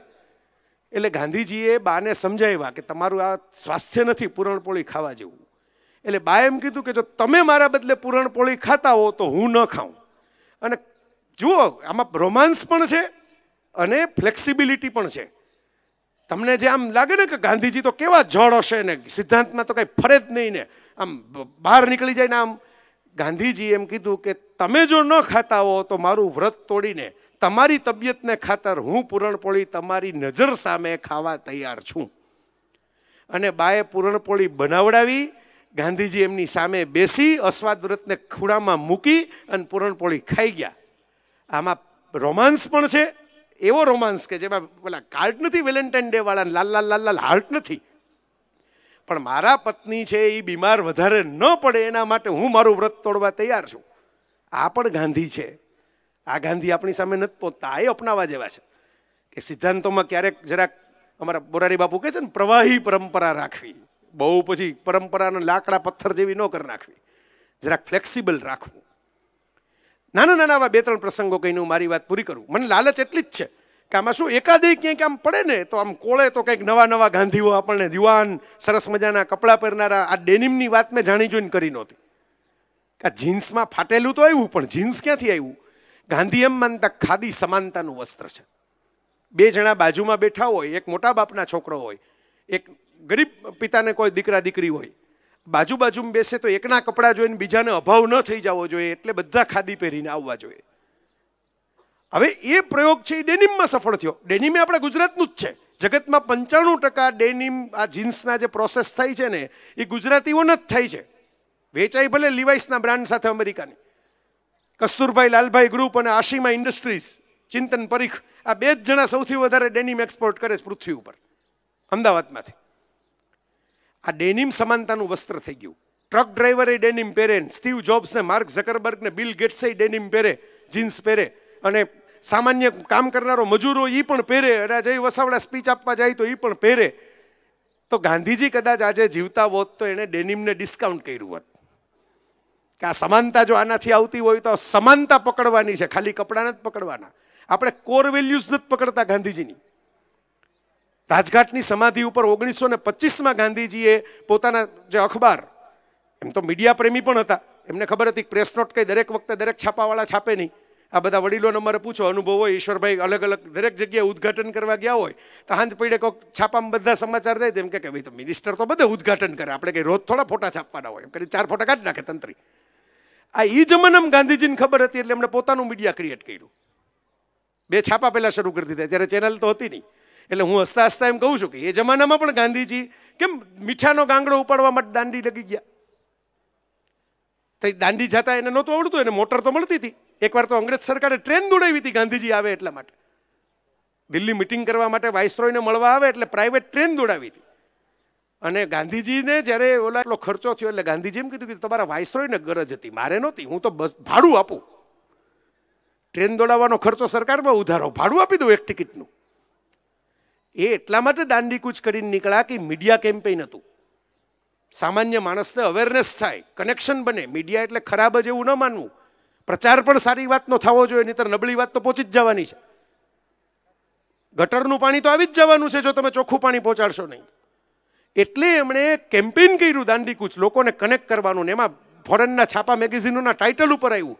અને આમ મીઠાનો ગાંગડો આમ નીચેથી ઉપાડ્યો હિરોઈક બેરિસ્ટર હતા, કોર્ટમાં કેસ કરી શકત મીઠાના કાયદા સામે. કેસ ન કર્યો કેમ્પેન કર્યું. અને તમને લોકોને એ ખ્યાલ નહીં હોય કે એ જમાનામાં ગાંધીજીએ પોતે ઉપાડ્યો મીઠાનો ગાંગડો, હરાજી કરીને પાંચસો રૂપિયા વેચી નાખ્યો હતો. આ મીઠું કંઈ ઘરે લઈ જવા માટે થોડું છે? હરાજી કરી પાંચસો રૂપિયા વેચીને પાંચસો રૂપિયાનું શું કર્યું? વેલફેર ફંડ કલ્યાણ. તો આ આવડત હતી એમની પાસે. એટલે આજે ગાંધીજી જીવતા હોત તો હવારના પોરમાં આપણને વોટ્સઅપના ગ્રુપમાં એડ કરીને બેઠા હોત. બરાબર? એમાં નવા નવા ભજન મૂકતા હોત, નવા નવા સુવાક્યો મૂકતા હોત. An are for an eye for an eye makes whole world blind એવું હવારના પોરમાં આવત એક ગુલાબના ફૂલ સાથે, એક ગલગોટાના ફૂલ સાથે. આપણે આવા આવા ગાંધીજી કદાચ કલ્પના નથી આવતી. કોને ખબર? અબ્દુલ કલામને મળ્યા પછી સાયન્સમાં રસ લેતા થઈ ગયા હોત. કલામ સાહેબ ગાંધીએ ન જતા તો એને મળ્યા પછી ગાંધીજીને એમ થાત કે આમાંય જરા કાંટો મારવા જેવો છે. એમ તો લશ્કરનો વિરોધ કરતા હતા, પણ પાછી કાશ્મીર ઉપર આપણે વિમાન ઉડાડ્યા ત્યારે આમાં મામા મામા હાથ કરીને ગાંધીજી આશીર્વાદે આપેલા. એટલે ગાંધીને સમજવા અઘરા છે. એક વાક્ય પકડશો તો નહીં સમજાય. આખા પકડવા પડે, અખિલાઈમાં, ટોટલમાં. નાની નાની એટલા પ્રસંગો છે. ગાંધી સાથે જોડાયેલા. બધા તો હું તમને કહેવા જઈશ તો તમે કંટાળી જશો ને થાકી જશો. પણ એકાદો પ્રસંગ કહીને હું મારી વાતનું સમાપન કરું. મારે ગાંધીના કેટલાક કોટથી જ સમાપન કરવું છે. જય વસાવડા સાઈડમાં, ગાંધીજી ફ્રન્ટમાં. કારણ કે હું તો મને બહુ ગાંધી વહાલા લાગે. કેવો માણસ, કેટલી ઝડપથી એક સત્ય પારખી ગયો હતો આ દેશને કેટલી સરસ રીતે જે માણસ ઓળખી જાય. આ વખતે વિચાર કરજો, આપણા વડાપ્રધાન નરેન્દ્ર મોદીએ આ ગાંધી દોઢસોની શરૂઆત થઈ ને બીજી ઓક્ટોબરે ત્યારે અમેરિકાના ન્યુયોર્ક ટાઈમ્સના ઓપેડ ઉપર તંત્રી લેખ લખ્યો છે. એ વાંચવા જેવો જ જેણે વાંચવો હોય એને. લોકો વાંચતા નથી આવું બધું અંગ્રેજીની અંદર, પણ વાંચવા જેવો છે. સરસ લખ્યું છે. ત્યાં જઈને યુનાઇટેડ નેશન્સની ટેરેસને ગાંધીજીનું નામ આપીને આપણે ઉદ્ઘાટન કર્યું. આ સ્મારક બનાવ્યા. અમારા રાજકોટની અંદર ગાંધી મ્યુઝિયમ બન્યું, આ દાંડીની અંદર મ્યુઝિયમ બન્યું, એક દાંડી કુટીર બની છે ગાંધીનગરમાં. એમણે સરસ એક વાત લખી છે. એમણે એમ લખ્યું છે કે સૌથી મહત્વનું હું કંઈ શીખ્યો હોઉં મહાત્મા ગાંધી પાસેથી. બધા વિચારો એક સરખા બે જણાના હોય એવું તો કોઈ પરિવારમાં શક્ય નથી હોતું. એ તો ગાંધીજીના પરિવારમાં એવું નહોતું. એવું તો કૃષ્ણના પરિવારમાં નહોતું. એ તો કોઈ પરિવારમાં, રામના કે કોઈના પરિવારમાં એવું નથી બન્યું કે બધા વિચારો બધા જ માણસોને સરખા હોય. કોઈ કઈ કઈ તો જુદા વિચારવાળા નીકળે. કોઈ માણસ તો એવું નીકળે જેના વિચાર અલગ હોય. પણ એવી વાત એમણે કરેલી છે અને બહુ મહત્વની વાત કરેલી છે કે હું શીખ્યો છું એ કે કોઈ પણ પ્રકારની ટેકનોલોજી, મીડિયા ઇન્ટરનેટ, મોબાઈલ, આ કશા વિના એક માણસ આખા ભારતમાં કાશ્મીરથી કન્યાકુમારી સુધી ભીડ એકઠી થાય, એ એક કેવી રીતે કરી દે બધાને? This is a learning lesson આજે મિત્રો, આપણી પાસે બે રાજ્યો ઝઘડતા હોય ને, નદીના પાણી માટે તો. એવા કોઈ બે રાજ્યોમાં માણસ નથી જે ઊભા રહીને એમ કહી શકે કે ચાલો આ ભાગ તમારો ને આ ભાગ તમારો. અને માન રાખીને લોકો નીકળી જાય. ગાંધી માન ઊભું કરેલું, લોકોમાં રિસ્પેક્ટ ચંપારણના સત્યાગ્રહમાં જે હીરો ગાંધી છે ને, જ્યારે ગાંધીજી અધિવેશનની અંદર બેસતા હતા, અને અધિવેશનમાં બેસેલા ગાંધીને ખેડૂત આવ્યો, રાજકુમાર શુક્લા જેમ બારડોલીમાંથી કોઈક નીકળે કોઈક આદિવાસી માણસ નીકળે, કે મારી જમીન ખાઈ ગયા બધા. એમ કરીને એને એને શું કીધું કે કડી નિંદાનો ઠરાવ કરી દો આજે ચાપામ તમે નથી વાંચતા કે આપણે કડી નિંદા કરી, કે આવું ન થવું જોઈએ. એ રાજકુમાર શુક્લે કડી નિંદાના ઠરાવ માટે આવ્યા ગાંધીજીને ભટકાણા ગાંધીજી કે ઠરાવ કઈ થોડા કંઈ જાય કોઈ. એટલે કે પણ આ તો અંગ્રેજો રાજ કરે છે, ગળીનો સત્યાગ્રહ ને એ બધું તો કાંઈ હતું જ નહીં ત્યારે નીલવરો હતા. ગળીની ખેતી કરાવતા આપણી પાસે ગળી કઈ, આ ડેનિમને બ્લુ કરવાની. અને ગાંધીજી એમ કીધું કે તમારે ત્યાં આવીશ. પછી એમણે પત્ર લખાય ને એને તો કંઈ ખબર નહીં કે આવડો મોટો નેતા કોઈ આવશે આપણે ત્યાં. ત્યારે ગાંધીજી સાઉથ આફ્રિકામાં હતા, એટલે હીરો હતા. આપણે અમિતાભ બચ્ચનને કાગળ લખીએ કે તમે મારા લગ્નમાં આવજો અને એક દી ખરેખર લગ્નમાં અમિતાભ હાથમાં બોક્સ લઈને આવે ગિફ્ટનું તો કેવું થાય આપણી હાલત? ગાંધીજી એકલા એકલા નીકળા એકલા. રાજેન્દ્ર પ્રસાદને ઓળખતા હતા બિહારમાં ખાલી. બીજા કોઈને ઓળખતા નહોતા. ભાષા જુદી, વિસ્તાર જુદો, કોઈ દી પગ નહોતો મૂકે એવી જગ્યાઓ. ત્યાં એકલા ગયા. એકલા જઈને ઊભા રહ્યા ને એક અંગ્રેજે એવું કીધું કે આ કોક ગાંધી આવ્યો છે, એને હું ગોળીએ દેવાનો છું. એટલે સવારના પોરમાં પહેલાં સાહેબ જે બ્રેકફાસ્ટ કરતા હતા ને બ્રિટિશર ત્યાં ગાંધીજીને ઊભા રહ્યા કે આપ સાહેબ મને કંઈક ગોળીએ દેવાની વાતો કરતા હતા. તો હું આપને ઓળખવામાં મુશ્કેલી પડે, અજાણ્યા માણસો કોણ ગાંધી, કયો ગાંધી? એટલે હું સાક્ષાત જ આવી ગયો છું. આપણો પરિવાર હાજર છે, આપ તાત્કાલિક બંદૂક ઉપાડીને ગોળી જ દઈ દો મને. એટલે પેલા ભાઈ મૂંઝાઈ ગયા કોઈ સામેથી ગોળી ખાવા આવે? મિત્રો, તમે કોર્ટના કેસ જોયા હોય ને, પિક્ચરમાં પણ જોયા હોય તમને ખબર હોય. અત્યારે પણ એવું ચાલે છે ફાંસી જેને થઈ ગઈ હોય નહીં વકીલો તૂટી પડ્યા હોય હજી થોડીક મોડી કરાવીએ, હજી થોડીક મોડી કરાવીએ. એને બદલે ચંપારણના સત્યાગ્રહમાં એવી ઘટના બની કે બ્રિટિશ જજ એને એમ કે બેરિસ્ટર લંડનમાં ભણીને આવ્યા છે, આ તો કેવી દલીલ કરશે? અને ગાંધીજીએ કીધું કે, મેં કાયદાનો ભંગ કર્યો છે, હું સજા સ્વીકારવા તૈયાર છું, આપ સજા આપો. આરોપી કહે છે કે, સજા આપો. જજ સજા એટલે નથી આપતા, કારણ કે બહાર ટોળું છે ગાંધીજીના ચાહકોનું. હજારો લોકો બહાર ભેગા છે અને જજ છે ટોટલ એક. કે હું બહાર નીકળું ને આમન મારી નાખશે આખું ટોળું તો. એટલે દુનિયાના કાયદાના ઇતિહાસમાં પહેલો એવો કેસ બન્યો કે જેમાં જજે આરોપીને એમ કીધું કે મને મુદત આપો. આરોપી જજ પાસે મુદત માગે, જજે આરોપી પાસે મુદત માગી, મને મુદત આપો.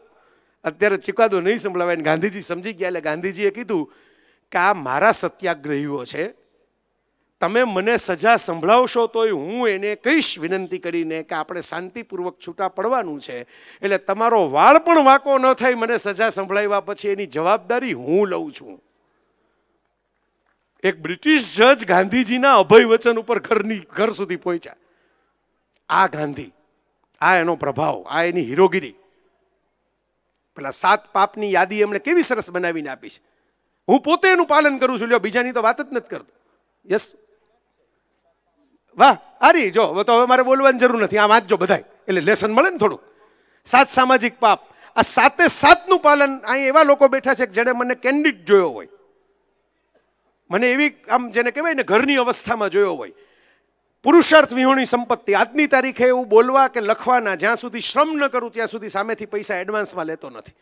અંતરાત્માના અવાજથી મેળવેલો અવાજને દબાવીને મેળવેલો આનંદ. તમારી નજર સામે જ છે. જો મારે ટી શર્ટ ને જીન્સ પહેરીને હું બીજે ફરતો હોઉં, તો એક દી પૂરતો નાટક કરવા માટે શું કામ હું જબ્બો પહેરીને આવું? હું જ પહેરીને આવ્યો. અંતરાત્માના અવાજને દબાવીને મેળવેલો આનંદ નહીં. બરાબર? ચારિત્ર વિનાનું જ્ઞાન. જ્ઞાન છે, પણ જ્ઞાન સાથે વર્તન કેવું રાખવું એનું કેરેક્ટર નથી. અને કોઈ ન જોતું હોય ત્યારે આપણે કેવી રીતે વર્તીએ એ આપણું ચારિત્ર. કેમેરા હોય ત્યારે બધા ડાયા લાગે. હું બાપુની એથેન્સની કથામાં ગયો તો હું ઘણી વાર બધાને સંભળાવું છું. પણ આજે આ યુવાન મિત્રોને કહેવામાં મને આનંદ થશે. ટોયલેટનો ફોટો મેં પાડ્યો હતો, ગ્રીસમાં. બાપુને બહુ ગમ્યું હતું એ વાક્ય. મેં કીધું, બાપુ, આવું એ લખેલું છે. બાપુ મને કે, માનવતાનો આખો આખો સૂત્ર આવી ગયું આની વાતમાં. ટોયલેટમાં એવી સૂચના હતી કે અહીં તમે દરવાજો ખોલોના જગ્યા જેટલી ચોખ્ખી, વ્યવસ્થિત, સુગંધિત, સુઘડ લાગે, એવું કોઈ અજાયણું તમારા માટે મૂકીને ગયું છે. માટે તમારા પછી આવનાર અજાયણા માટે તમે મૂકીને જજો. મને ત્યાં ગાંધી દેખાય દેખાણા, એ વાતમાં. આ આ, કે આપણે આપણે, આપણા બોય ને ત્યાં તો આપણે જેમ સાફ કરી કરીને હરખી જગ્યા રાખીએ મારા બાપુજી બેસવાના છે, હું જરાક સાફ કરી નાખું ધૂળ. પણ કોણ બેસવાનું છે મને ખબર નથી, પણ કોક તો બેસવાનું છે ને, એમ માનીનું સાફ કરેલી ખુરશી રાખું ને એ ગાંધી. નીતિ વિનાનો વેપાર. વેપાર કરવાનો, હું પુસ્તકો બનાવું છું. પણ સારામાં સારા કાગળ, સારામાં સારું પ્રિન્ટિંગ શક્ય એટલો એના પ્રમાણમાં ઝેરોક્ષ કરાવો ને તોય ચા બસો ચાલીસ પાનાનું પુસ્તક હોય, એનો ભાવ ત્રણસો રૂપિયા ત્રણસો પચાસ રૂપિયા રાખ્યો હોય એ ડિસ્ટ્રીબ્યુટરોને જોતા હોય થોડાક વચ્ચેથી એમાંથી કમિશન એટલે. બરાબર? માણસાઈ વિનાનું વિજ્ઞાન સાયન્સ ટેકનોલોજી બધાનો ઉપયોગ કરવાનો, આ મોબાઈલનો ઉપયોગ કરવાનો, તમારા ફોટા પાડીને લોકો સુધી પહોંચાડવા માટે. કોકના ખોટા રેકોર્ડિંગ કરવા માટે ને કોકને ખોટે બ્લેકમેલ કરવા માટે ને એના માટે નહીં. બરાબર? આત્મસમર્પણ વિનાની ભક્તિ, વૈરાગ્ય વગરની ભક્તિ. નો એવું કાંઈ ભેગું આવવાનું નથી, કાંઈ ભેગું આવવાનું નથી, એવું કહીને બધું ભેગું કરીને ઓલા ભાઈ લઈ ગયા એવી ભક્તિ નહીં. અત્યારે એવું બહુ ચાલે છે. બરાબર? ચારે બાજુ અમુક તો આપણા બધા અલગ અલગ દેશ પ્રદેશની અંદર નવી નવી બ્રાન્ડ બનાવીને બેઠા છે. બરાબર? એમાં વૈરાગ્ય હોતું જ નથી. સંસારમાં જે મળે ને એના કરતાં દસ ગણું જ ભોગવે છે. અને સિદ્ધાંત વગરનું રાજકારણ. રાજકારણ કરાય, ગાંધીજીએ કરેલું. પણ સિદ્ધાંત પહેલાં, રાજકારણ પછી. જવું હોય તો જવા દેવાનું. ગાંધીજી આધુનિક હતા. રાજમોહન ગાંધી એકવાર મને કહેલું બાપુનું અંગ્રેજી જેટલું સારું હતું, એટલું તો અંગ્રેજોનું નહોતું. સારું ઇંગ્લિશ રાખવું જ જોઈએ વિદ્યાર્થીઓએ. આવું રાજમોહન ગાંધી રાજકોટમાં આવીને બન કહી ગયા, ગાંધીજીના દોહિત્ર. વિચાર કરો, ગાંધીજીની પાંચમી પેઢીની અડધો અડધ કુટુંબ પ્રજ્ઞાબેનને તમે પૂછજો, વિદેશમાં રહે છે. તેમનું અંગ્રેજી સારું નહીં હોય એ જીન્સ નહીં પહેરતા હોય એને શું સૂપ નહીં પીતા હોય? પિઝા નહીં જોયો હોય? એટલે ગાંધીજી એવા જળબુદ્ધિ નહોતા કે દરેક વાતની અંદર માત્ર ને માત્ર નકાર જ કરે. પરિસ્થિતિ મુજબ એમણે કેટલીક ટ્રેનિંગ દેશને આપવી હતી, એટલે કેટલાક આકરા સિદ્ધાંતો બનાવ્યા. આજે કદાચ આ મિત્રો જેટલી એકાગ્રતાથી ચરખો કાતે છે ને, હું એમ માનું છું ગાંધીજી જીવતા હોત તો એટલી જ એકાગ્રતાથી અમને કોમ્પ્યુટર શીખવા માટેની છૂટ આપતા હોત. ટચ સ્ક્રીન આઈપેડ હાથમાં લઈને બેઠા હોત કે આમાં માણસ એકાગ્રત થઈ જાય ને, બાજુમાં કોણ ઊભું હોય ખબર ન પડે. તમે જોજો, કેટરીના કેફના આલિયા ભટ્ટ બી બાજુમાં આવી જાય તો આપણે આમાંથી આમ જોયો જ ખબર પડે ને કે બાજુમાં છે, ફોટો પાડી લેવાય. આપણે આમ જોઈએ છીએ. તો આ ગાંધી મારે તમારા સુધી પહોંચાડવાની પ્રયત્ન કરવો હતો કે આવા એક ગાંધીએ છે જે આપણે જોયા નથી, જે સ્માઇલ કરતા હોય, જે જોક કરતા હોય. હમણાં માથાકૂટ ચાલી કે સ્ત્રીઓ સાથે વિનયભંગ થાય છે, છેડતી થાય છે, બળાત્કાર થાય છે. આપણા દેશમાં ઘટનાઓ ભયંકર રીતે વધતી જાય છે. એક જમાનામાં ગાંધીજીને પૂછવામાં આવેલું નાના ભાઈએ લખ્યું છે એમના પુસ્તકની અંદર કે આવું થાય શું કરવું? એટલે ગાંધીજીએ કીધું કે કોઈ ગુંડો તમને આવી રીતે પરાણે બળાત્કાર કરવા માટે પાછળ પડ્યો હોય તો કોઈ સ્ત્રી એને છાતીમાં છરી ઉલાવી દેશે તો એ કૃત્યને હું અહિંસક કૃત્ય જાહેર કરીશ. પોતાના સ્વ બચાવમાં માણસે લડવું પણ પડે કોઈક પરિસ્થિતિમાં. અને પોતાના દીકરા દેવદાસ ગાંધીને સાઉથ આફ્રિકામાં ગાંધીજી આ વાત પણ કરી હતી. દેવદાસ ગાંધીએ પૂછ્યું કે ભાઈ, આ લાકડી મારે મરી જવાનું? એટલે ગાંધીજી કે ના, સ્વરક્ષણ માટે પ્રતિકાર કરવા માટે કોઈ ખરાબ વ્યક્તિ તમારી ઉપર શાસન કરે ત્યારે તમે સામે કહી શકો, જવાબ આપી શકો. તમને લોકોને ખબર હોવી જોઈએ કે પહેલા વિશ્વયુદ્ધમાં ગાંધીજીએ આર્મીની ટ્રેનિંગ પણ લીધેલી. અને હાથમાં બંદૂક સાથે ફોટોય પડાવેલો છે. એટલે જ્યારે અહિંસાની વાત કરે ત્યારે એવું નહોતું કે બંદૂક કેવી હોય એને જોઈ નહોતી. બંદૂક ચલાવ્યાની ટ્રેનિંગ લઈને માણસ એમ કહે છે કે આ નથી કરવું. આપણે નથી જવું. એ આપણી લેન નહીં. એ આપણું આપણું કામ નહીં. અને ક્રિકેટ પણ રમતા બહુ સરસ રીતે. ક્રિકેટના બેટ ઉપર ઓટોગ્રાફ કરેલા ને ક્રિકેટમાં હમણાં ઓલા અશ્વિને, આર અશ્વિને નહોતો આઉટ કરી દીધો. માર્કડ કરીને, ખેલાડીને પાછળ ઓલો ક્રીઝની બહાર નીકળી ગયો સ્ટમ્પ કરી દીધું. એક મેચમાં ગાંધીજી આવી રીતે આઉટ કરી દીધો છે ખેલાડીને બોલિંગ કરતા કરતા. આપણે બોલિંગ કરવાની જરૂર જ ક્યાં છે? ભાઈ આટલા જ આગળ નીકળી ગયા છે, કરો આઉટ આ બધું જ ગાંધીજીએ કરેલું છે, પણ દેશ માટે છોડતા ક્યાં? કોટ છોડ્યો ક્રિકેટ છોડ્યું આનંદ છોડ્યો મધુશાલા જેવી કવિતાઓ હરિવંશરાય બચ્ચનના મોઢે સાંભળતા અને સાંભળીને અપ્રૂવ કરી બહુ સારી છે બીજે સંભળાવજો. ફિલ્મો જોવા ગયા, પણ ફિલ્મો મેં બહુ કંઈ જામ્યું નહીં ત્યારે એવી કંઈ ફિલ્મો બહુ બનતી નહોતી. આજે જીવતા હોતા પેરેસાઇટ જોવા માટે ગાંધીજી કે કોલો જય વસાવડા કે આટલો કીધા રાખે જ મારા વિચાર મારા વિચાર તો કે હાલો જોયા, જોઈએ એમ કે કેવીક છે. અમારા મોરારી બાપુ હમણાં હેલારો જોવા બેઠા હતા. તો મોરારી બાપુ જો હેલારો જોઈ શકે, રામકથા કરતા કરતા તો ગાંધી બાપુ પેરેસાઇટનો જોઈ શકે, ઓસ્કાર એવોર્ડ વિજેતા ગાંધી વિચારની. તો મારું કહેવાનું એમ છે કે આપણે બહુ ચોખ્ઠામાં ગાંધીને રાખવાની જરૂર નથી, ગાંધી ગુંગળાઈ જશે. આપણા ગાંધી છે એ રિઝર્વ બેંકની નોટમાં છપાય એટલે વાલા લાગે એવું નથી. પણ યાદ એ રાખવાનું છે મારા યુવાન મિત્રોએ કે માથામાં વાળ ન હોય, મોઢામાં દાંત ન હોય. કરતલીવાળો ચહેરો હોય, પણ એ નોટ ઉપર રણબીર કપૂરનો ફોટો નથી. એ નોટ ઉપર કોઈ હીરો કે હિરોઈન દિશા પટણીન ટાઈગર શ્રોફના ફોટા નથી. એ નોટ ઉપર એ વ્યક્તિનો ફોટો છે કે જેની પોતળીમાં પારકાના ખોટા રૂપિયા રાખવાનું ખિસ્સુય નહોતું. તો તમે સુંદર દેખાવ કે ન દેખાવ એ જેવા ભગવાને તમને બનાવ્યા હોય એવા, તમારી હાઇટ ઊંચી હોય કે ન હોય, જેવા ભગવાને બનાવી હોય એવી, તમારું કામ જો સરસ રીતે મિત્રો કરશો ને, તો સચિનની હાઇટ નથી ને રલતા પાસે રૂપ નથી. અમિતાભાઈ અઠ્યોતેર વર્ષના વૃદ્ધ છે. જે લોકો કામ કરે છે, મુકેશ અંબાણી કંઈ નમણા નથી, પણ જેણે કામ કરીને સફળતા બતાવી છે ને જગતની અંદર, એને લોકો હંમેશા સુંદર જ માને છે સક્સેસફુલ ઇઝ ઓલવેઝ બ્યુટિફુલ પણ ગાંધી એટલું જ કહી ગયા કે સક્સેસ ગમે તે રસ્તે નહીં લઈ આવવાની સક્સેસ સત્યના રસ્તે લઈ આવવાની, પ્રામાણિકતાના રસ્તે લઈ આવવાની. ગાંધીની જ વાતથી મારી વાત પૂરી કરું, તમને બધાને થોડાક આમ ભાષણ કરી કરીને બોર કર્યા. મને ખબર છે આ છોકરાઓને એમ થતું હશે કે આમેય ભણવાનું આમેય ભણવાનું. આમાં તો મુક્તિ જ નથી મળતી. એના નવો સ્વાતંત્ર્ય સેનાની તમારે જોઈએ ગાંધી જેવો જેને શિક્ષણ પદ્ધતિમાંથી એ મુક્તિ અપાવી હતી. બુનિયાદી તાલીમ, ઝાડ નીચે બેસીને ભણવાનું, રમતા રમતા ભણવાનું. એટલે ગાંધી જીવતા હોત તો એને મજા આવત આ બધી. આ થ્રીડી એનિમેશન ટેકનોલોજીનો ઉપયોગ કરતા હોત છોકરાઓને બેસાડવા જાય, અલગ અલગ વાતો સમજાવવા માટે. તો ગાંધીના કેટલાક વિચારો હું આપ માટે લઈ આવ્યો છું. અને આ વિચારો ગાંધીજીના જ છે, પણ આ જરાક જુદા છે. આ વિચારો સુવાક્ય તરીકે કંઈ લખાતા નથી. મેં ગાંધીજીના ગ્રંથોમાંથી પાના નંબર સહિત ગોતેલા છે. તમને ટૂંકાવીને કહું છું. પણ યાદ રાખજો કે આ શબ્દોમાં અવાજ મારો છે, વિચાર ગાંધીનો છે. અને કેવા વિચારો છે? અને હું તમને એમ લાગે કે જય વસાવડા જાત જાતના ખેલ કરી ગયા. કે થ્રીડીનો ઉપયોગ કરે ને મોબાઈલનો ઉપયોગ કરે ને કોમ્પ્યુટર વાપરવા દે ને ફિલ્મ જોવા દે ને આવા ગાંધી તે કંઈ હોય? હમણાં તો હવે આગળ વધશે તો હમણાં એમ કહેશે કે ભાઈ પાણીપુરી ખાઓ ને પિઝા ખાઓ ને આ ખાઓ ને અસ્વાદ વ્રતનો છેદ ઉડાડી દીધો. બ્રહ્મચર્ય વ્રત ગાંધીજીને બહુ પ્રિય હતું. એણે છેક સુધી બહુ પ્રયોગો કર્યા. આજના જુવાનિયાઓને બહુ નથી જામતા એ પ્રયોગો. તો એક એવો ટૂચકો બનેલો છે કે એક ભાઈ દેવા માટે ગયા કુરિયરમાં બુક કે આમાં કંઈ એમ કે કુરિયરવાળાએ પૂછ્યું બ્રેકેબલ છે કંઈ? તૂટે એમ? તો કે આ છે ને સત્યના પ્રયોગો બુક છે ને બ્રહ્મચર્ય તૂટે એમ છે. મને પ્રેમ થઈ જાય, તું લગ્ન કરું ખરો. લગ્ન કરવું તો ફરવાઈ જાઉં. ફરવા જાઉં તો પછી ફોટાઈ પડાવું. ફોટા પડાવીને પછી ઉપલોડ કરું. વોટ્સઅપમાં ઇન્સ્ટાગ્રામમાં મૂકવી ખરો. તો આવા જે લોકોને એવું થતું એટલે મેં તમને જો રોમેન્ટિક ગાંધી પણ બતાવ્યા. મેં તમને ગાંધી જરા આમ સ્ટાઇલ કરતા હોય એ યુગની પણ વાત કરી. ગાંધીજીને એક હિરોઈન બહુ ગમતી, ભણતા ત્યારે નગીનદાસ સંઘવીન બોલાવીને પૂછજો. એમણે આખું પુસ્તક લખ્યું છે એ ગાંધીજીના અનુભવ ઉપર. અને ઘોડાની બગીમાં બેસીને એનું નાટક જોવા જતા, લંડન ભણતા ત્યારે. એટલે આપણા જેવા જ હતા. ભગવાન નહોતા. આપણા જેવા જ હતા, પણ કર્તવ્યોમાં ભગવાન હતા. કર્તવ્યોમાં ઈશ્વરની નજીક હતા. સ્વભાવમાં આપણા જેવા જ હતા. ગુસ્સે થાય, પાછા હસીએ જાય. પણ એટલા માટે કે જય વસાવડાએ મારે આમાંથી એલિમની લેવી ને, તમે બધા મને જીવતો બહાર જવા દો ગાંધીવાદી બધા વડીલો બેઠા છે. એને એમ થાય કે આ ભાઈ તો આપણે બોલાવ્યા ને, હવે તો આટલા જાત જાતની નવા ગાંધી મૂકી ગયા. તો આમ ખૂણામાં પૂરીને એમ કે એ નહીં બધા બાને કે આ જયભાઈને જરાક છે ને ગાંધી સમજાવવાની જરૂર છે.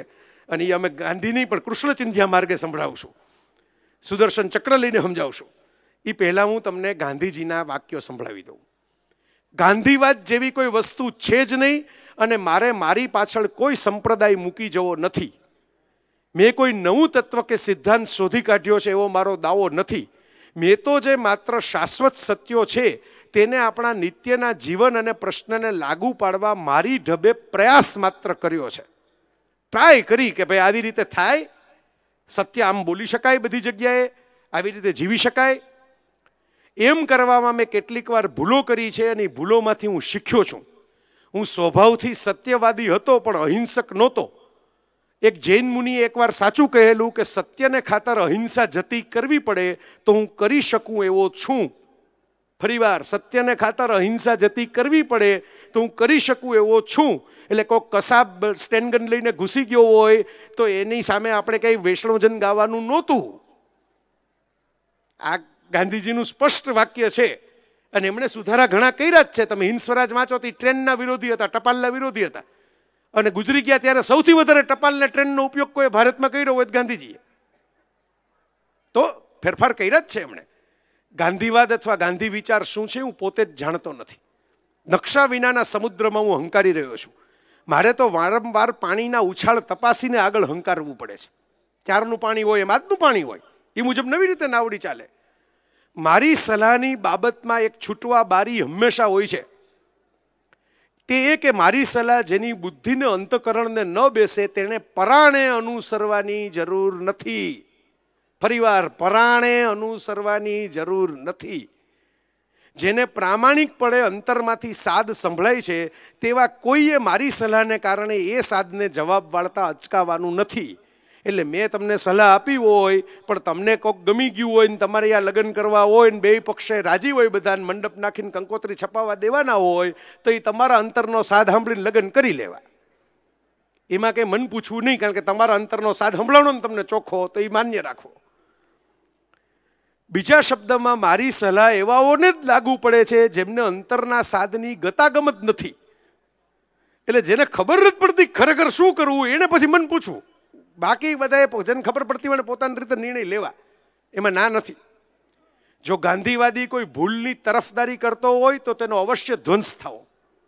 સત્યનો, અહિંસાનો કોઈ કાળે નાશ નથી. પણ ગાંધીવાદ એ સંપ્રદાય ભાવનાનું બીજું નામ હોય, તો ધ્વંસ થવાને જ લાયક છે. મરણ પછી મને ખબર પડી શકતી હોય અને પડે કે જિંદગીમાં જે જે મેં આરાધ્યું હતું એ માત્ર સંપ્રદાય બનીને રહી ગયું છે, તો મને અત્યંત વેદના થાય. એટલે બહુ પરાણે પણ ગાંધીજીને બહુ ચોકઠામ પહોંચાડવા નહીં. કોઈ એમ ન કહે કે હું ગાંધીનો અનુયાયી છું. હું એકલો જ મારો અનુયાયી બનવું એ બસ છે. હું પોતે પણ મારો કેટલો નબળો અનુયાયી છું એ હું જ જાણું છું. તમે બધા મારા અનુયાયી નહીં, સહાધ્યાયી, સહયાત્રી, સંશોધક અને સાથી છો. અને આજનું છેલ્લું વાક્ય, ગાંધી ભક્ત કોઈ હોય તો હું જોઈશ પણ મારી ઉમ્મીદ છે કે એવો અહંકાર મારામાં નથી. ભક્ત તો ભગવાનને હોય. હું તો મને ભગવાન માનતો જ નથી. તો ભક્ત શાના? હું સર્વસત્તાનો દાવો નથી કરતો. સત્યની શોધમાં મેં ઘણા વિચારોનો ત્યાગ કર્યો છે ને ઘણી નવી વસ્તુઓ શીખ્યો છું. વૃદ્ધ થયો છું, પણ મારો વિકાસ અટક્યો નથી અને દેહ પડ્યા પછી પણ વિકાસ અટકી જશે એવું મને લાગતું નથી. જે વખતે જે સત્ય ભાષે તે પ્રમાણે યથાશક્તિ આચરણ કરવાનો મારો હેતુ છે, જેથી મારામાં ઉત્તરોત્તર ફેરફાર અને વૃદ્ધિ સંભવ છે. આ ખુદ મોહનદાસ કરમચંદ ગાંધી. આમાં ક્યાંય એવું કીધું નથી કે આમ કરો તો જ ગાંધીવાળા. નહીતર નહીં. આમ જીવો તો જ ગાંધીવાળા. ગાંધીવાળાએ આમ કરાય, ન કરાય? મિત્રો, આટલું જ યાદ રાખવાનું છે. પ્રકૃતિના તત્વોની સાથે સમન્વય સાધીને રહેવું અને જે માનતા હોય એ પારદર્શકતાથી પડદો રાખ્યા વગર દુનિયાની સામે આવું મારું જીવન એ જ મારી વાણી. હું જે બોલું છું એ બોલતો નથી, પણ આચરણમાં ઉતારું છું. તો ગાંધી મહાન વક્તા નહોતા, રૂપાળા દેખાતા હીરો નહોતા, એ કોકના પૈસા આપતા નહોતા કે હાલો મારી ભેગા આવો તો હું તમને બંગલો બનાવી દઈશ ટેન્ડર અપાવી દઈશ, તમને આ આટલા આટલા પૈસાનો કોન્ટ્રાક્ટ અપાવી દઈશ. છતાંય આખો દેશ એમની પાછળ એટલે દોડ્યો તો તમારા મારા દાદા દાદીઓ નાના નાનીઓ એમની પાછળ ઘેલા એટલે થઈ ગયા હતા કે એ માણસે એક મોડલ આપ્યું કે આ જેવું બોલે છે, એવું જીવે છે ને જેવું જીવે છે ને એવું બોલે છે. ચોખ્ખો માણસ છે. ભલે અમુક વાતો ગમતી ન હોય પણ ચોખ્ખા માણસની ભેગું રહેવું. એમ માનીને દુશ્મનો દુનિયા એમની ભેગી રહી. તો મારા મિત્રો, આ ગાંધી તમારી અંદર પેદા થાય અને એમ તમે આ જીવન જીવવાની સંકલ્પ કરો, એનાથી મોટો ગાંધી મેળાની અંદર બીજું કોઈ આપણે માગી ન શકીએ. આપણે મોહનદાસ જેમના દાસ એવા મોહનને વિનંતી કરીએ કે જે વૈષ્ણવજન એ રજૂ કરવામાં આવ્યું, એ વૈષ્ણવજન બીજું કશું જ નથી. ઇન્ડિયન પિનલ કોડના કાયદાના સિદ્ધાંતો જ છે. બંધારણ ન વાંચો તો કાંઈ નહીં. વૈષ્ણવજનનું ભજન વાંચીને જીવનમાં એ ઉતારવું. કોક પર દુઃખે ઉપકાર કરવા. કોઈકની પીડા દૂર કર્યા પછી ઊભા ન રહેવું કે મારા વખાણ કરો, પછી જ હું જાઉં. ફોટા પડાવો, પછી જ જાઉં. મન અભિમાનના આલેરે કરીને રવાના થવું પર સ્ત્રી જેને માત્રે પોતાની સ્ત્રી હોય રામ સીતાને લઈને જંગલમાં ગયા હતા. પણ રાવણ સીતાને બીજાની સ્ત્રીને ઉપાડવા નીકળ્યો. એટલો ફેર છે રામને રાવણ વચ્ચે. એક પોતાની રામે રામે મંદોત્રીનું હરણ નથી કર્યું સામું, વળતા જવાબમાં. યુદ્ધ કર્યું છે. તો આ વિચારજો આ ભૂલ્યો છે વૈષ્ણવજનમાં પરસ્ત્રી જેને માત્રે પડધન નવ ચાલે હાથરે એન્ટી કરપ્શન આ વૈષ્ણવજનનું ભજન જીવનની અંદર ઉતારશો, તમારી અંદરથી જ ગાંધી પેદા થશે, તમારી અંદરથી નરસિંહ પેદા થશે, તમારી અંદરથી કૃષ્ણ પેદા થશે. ધન્યવાદ.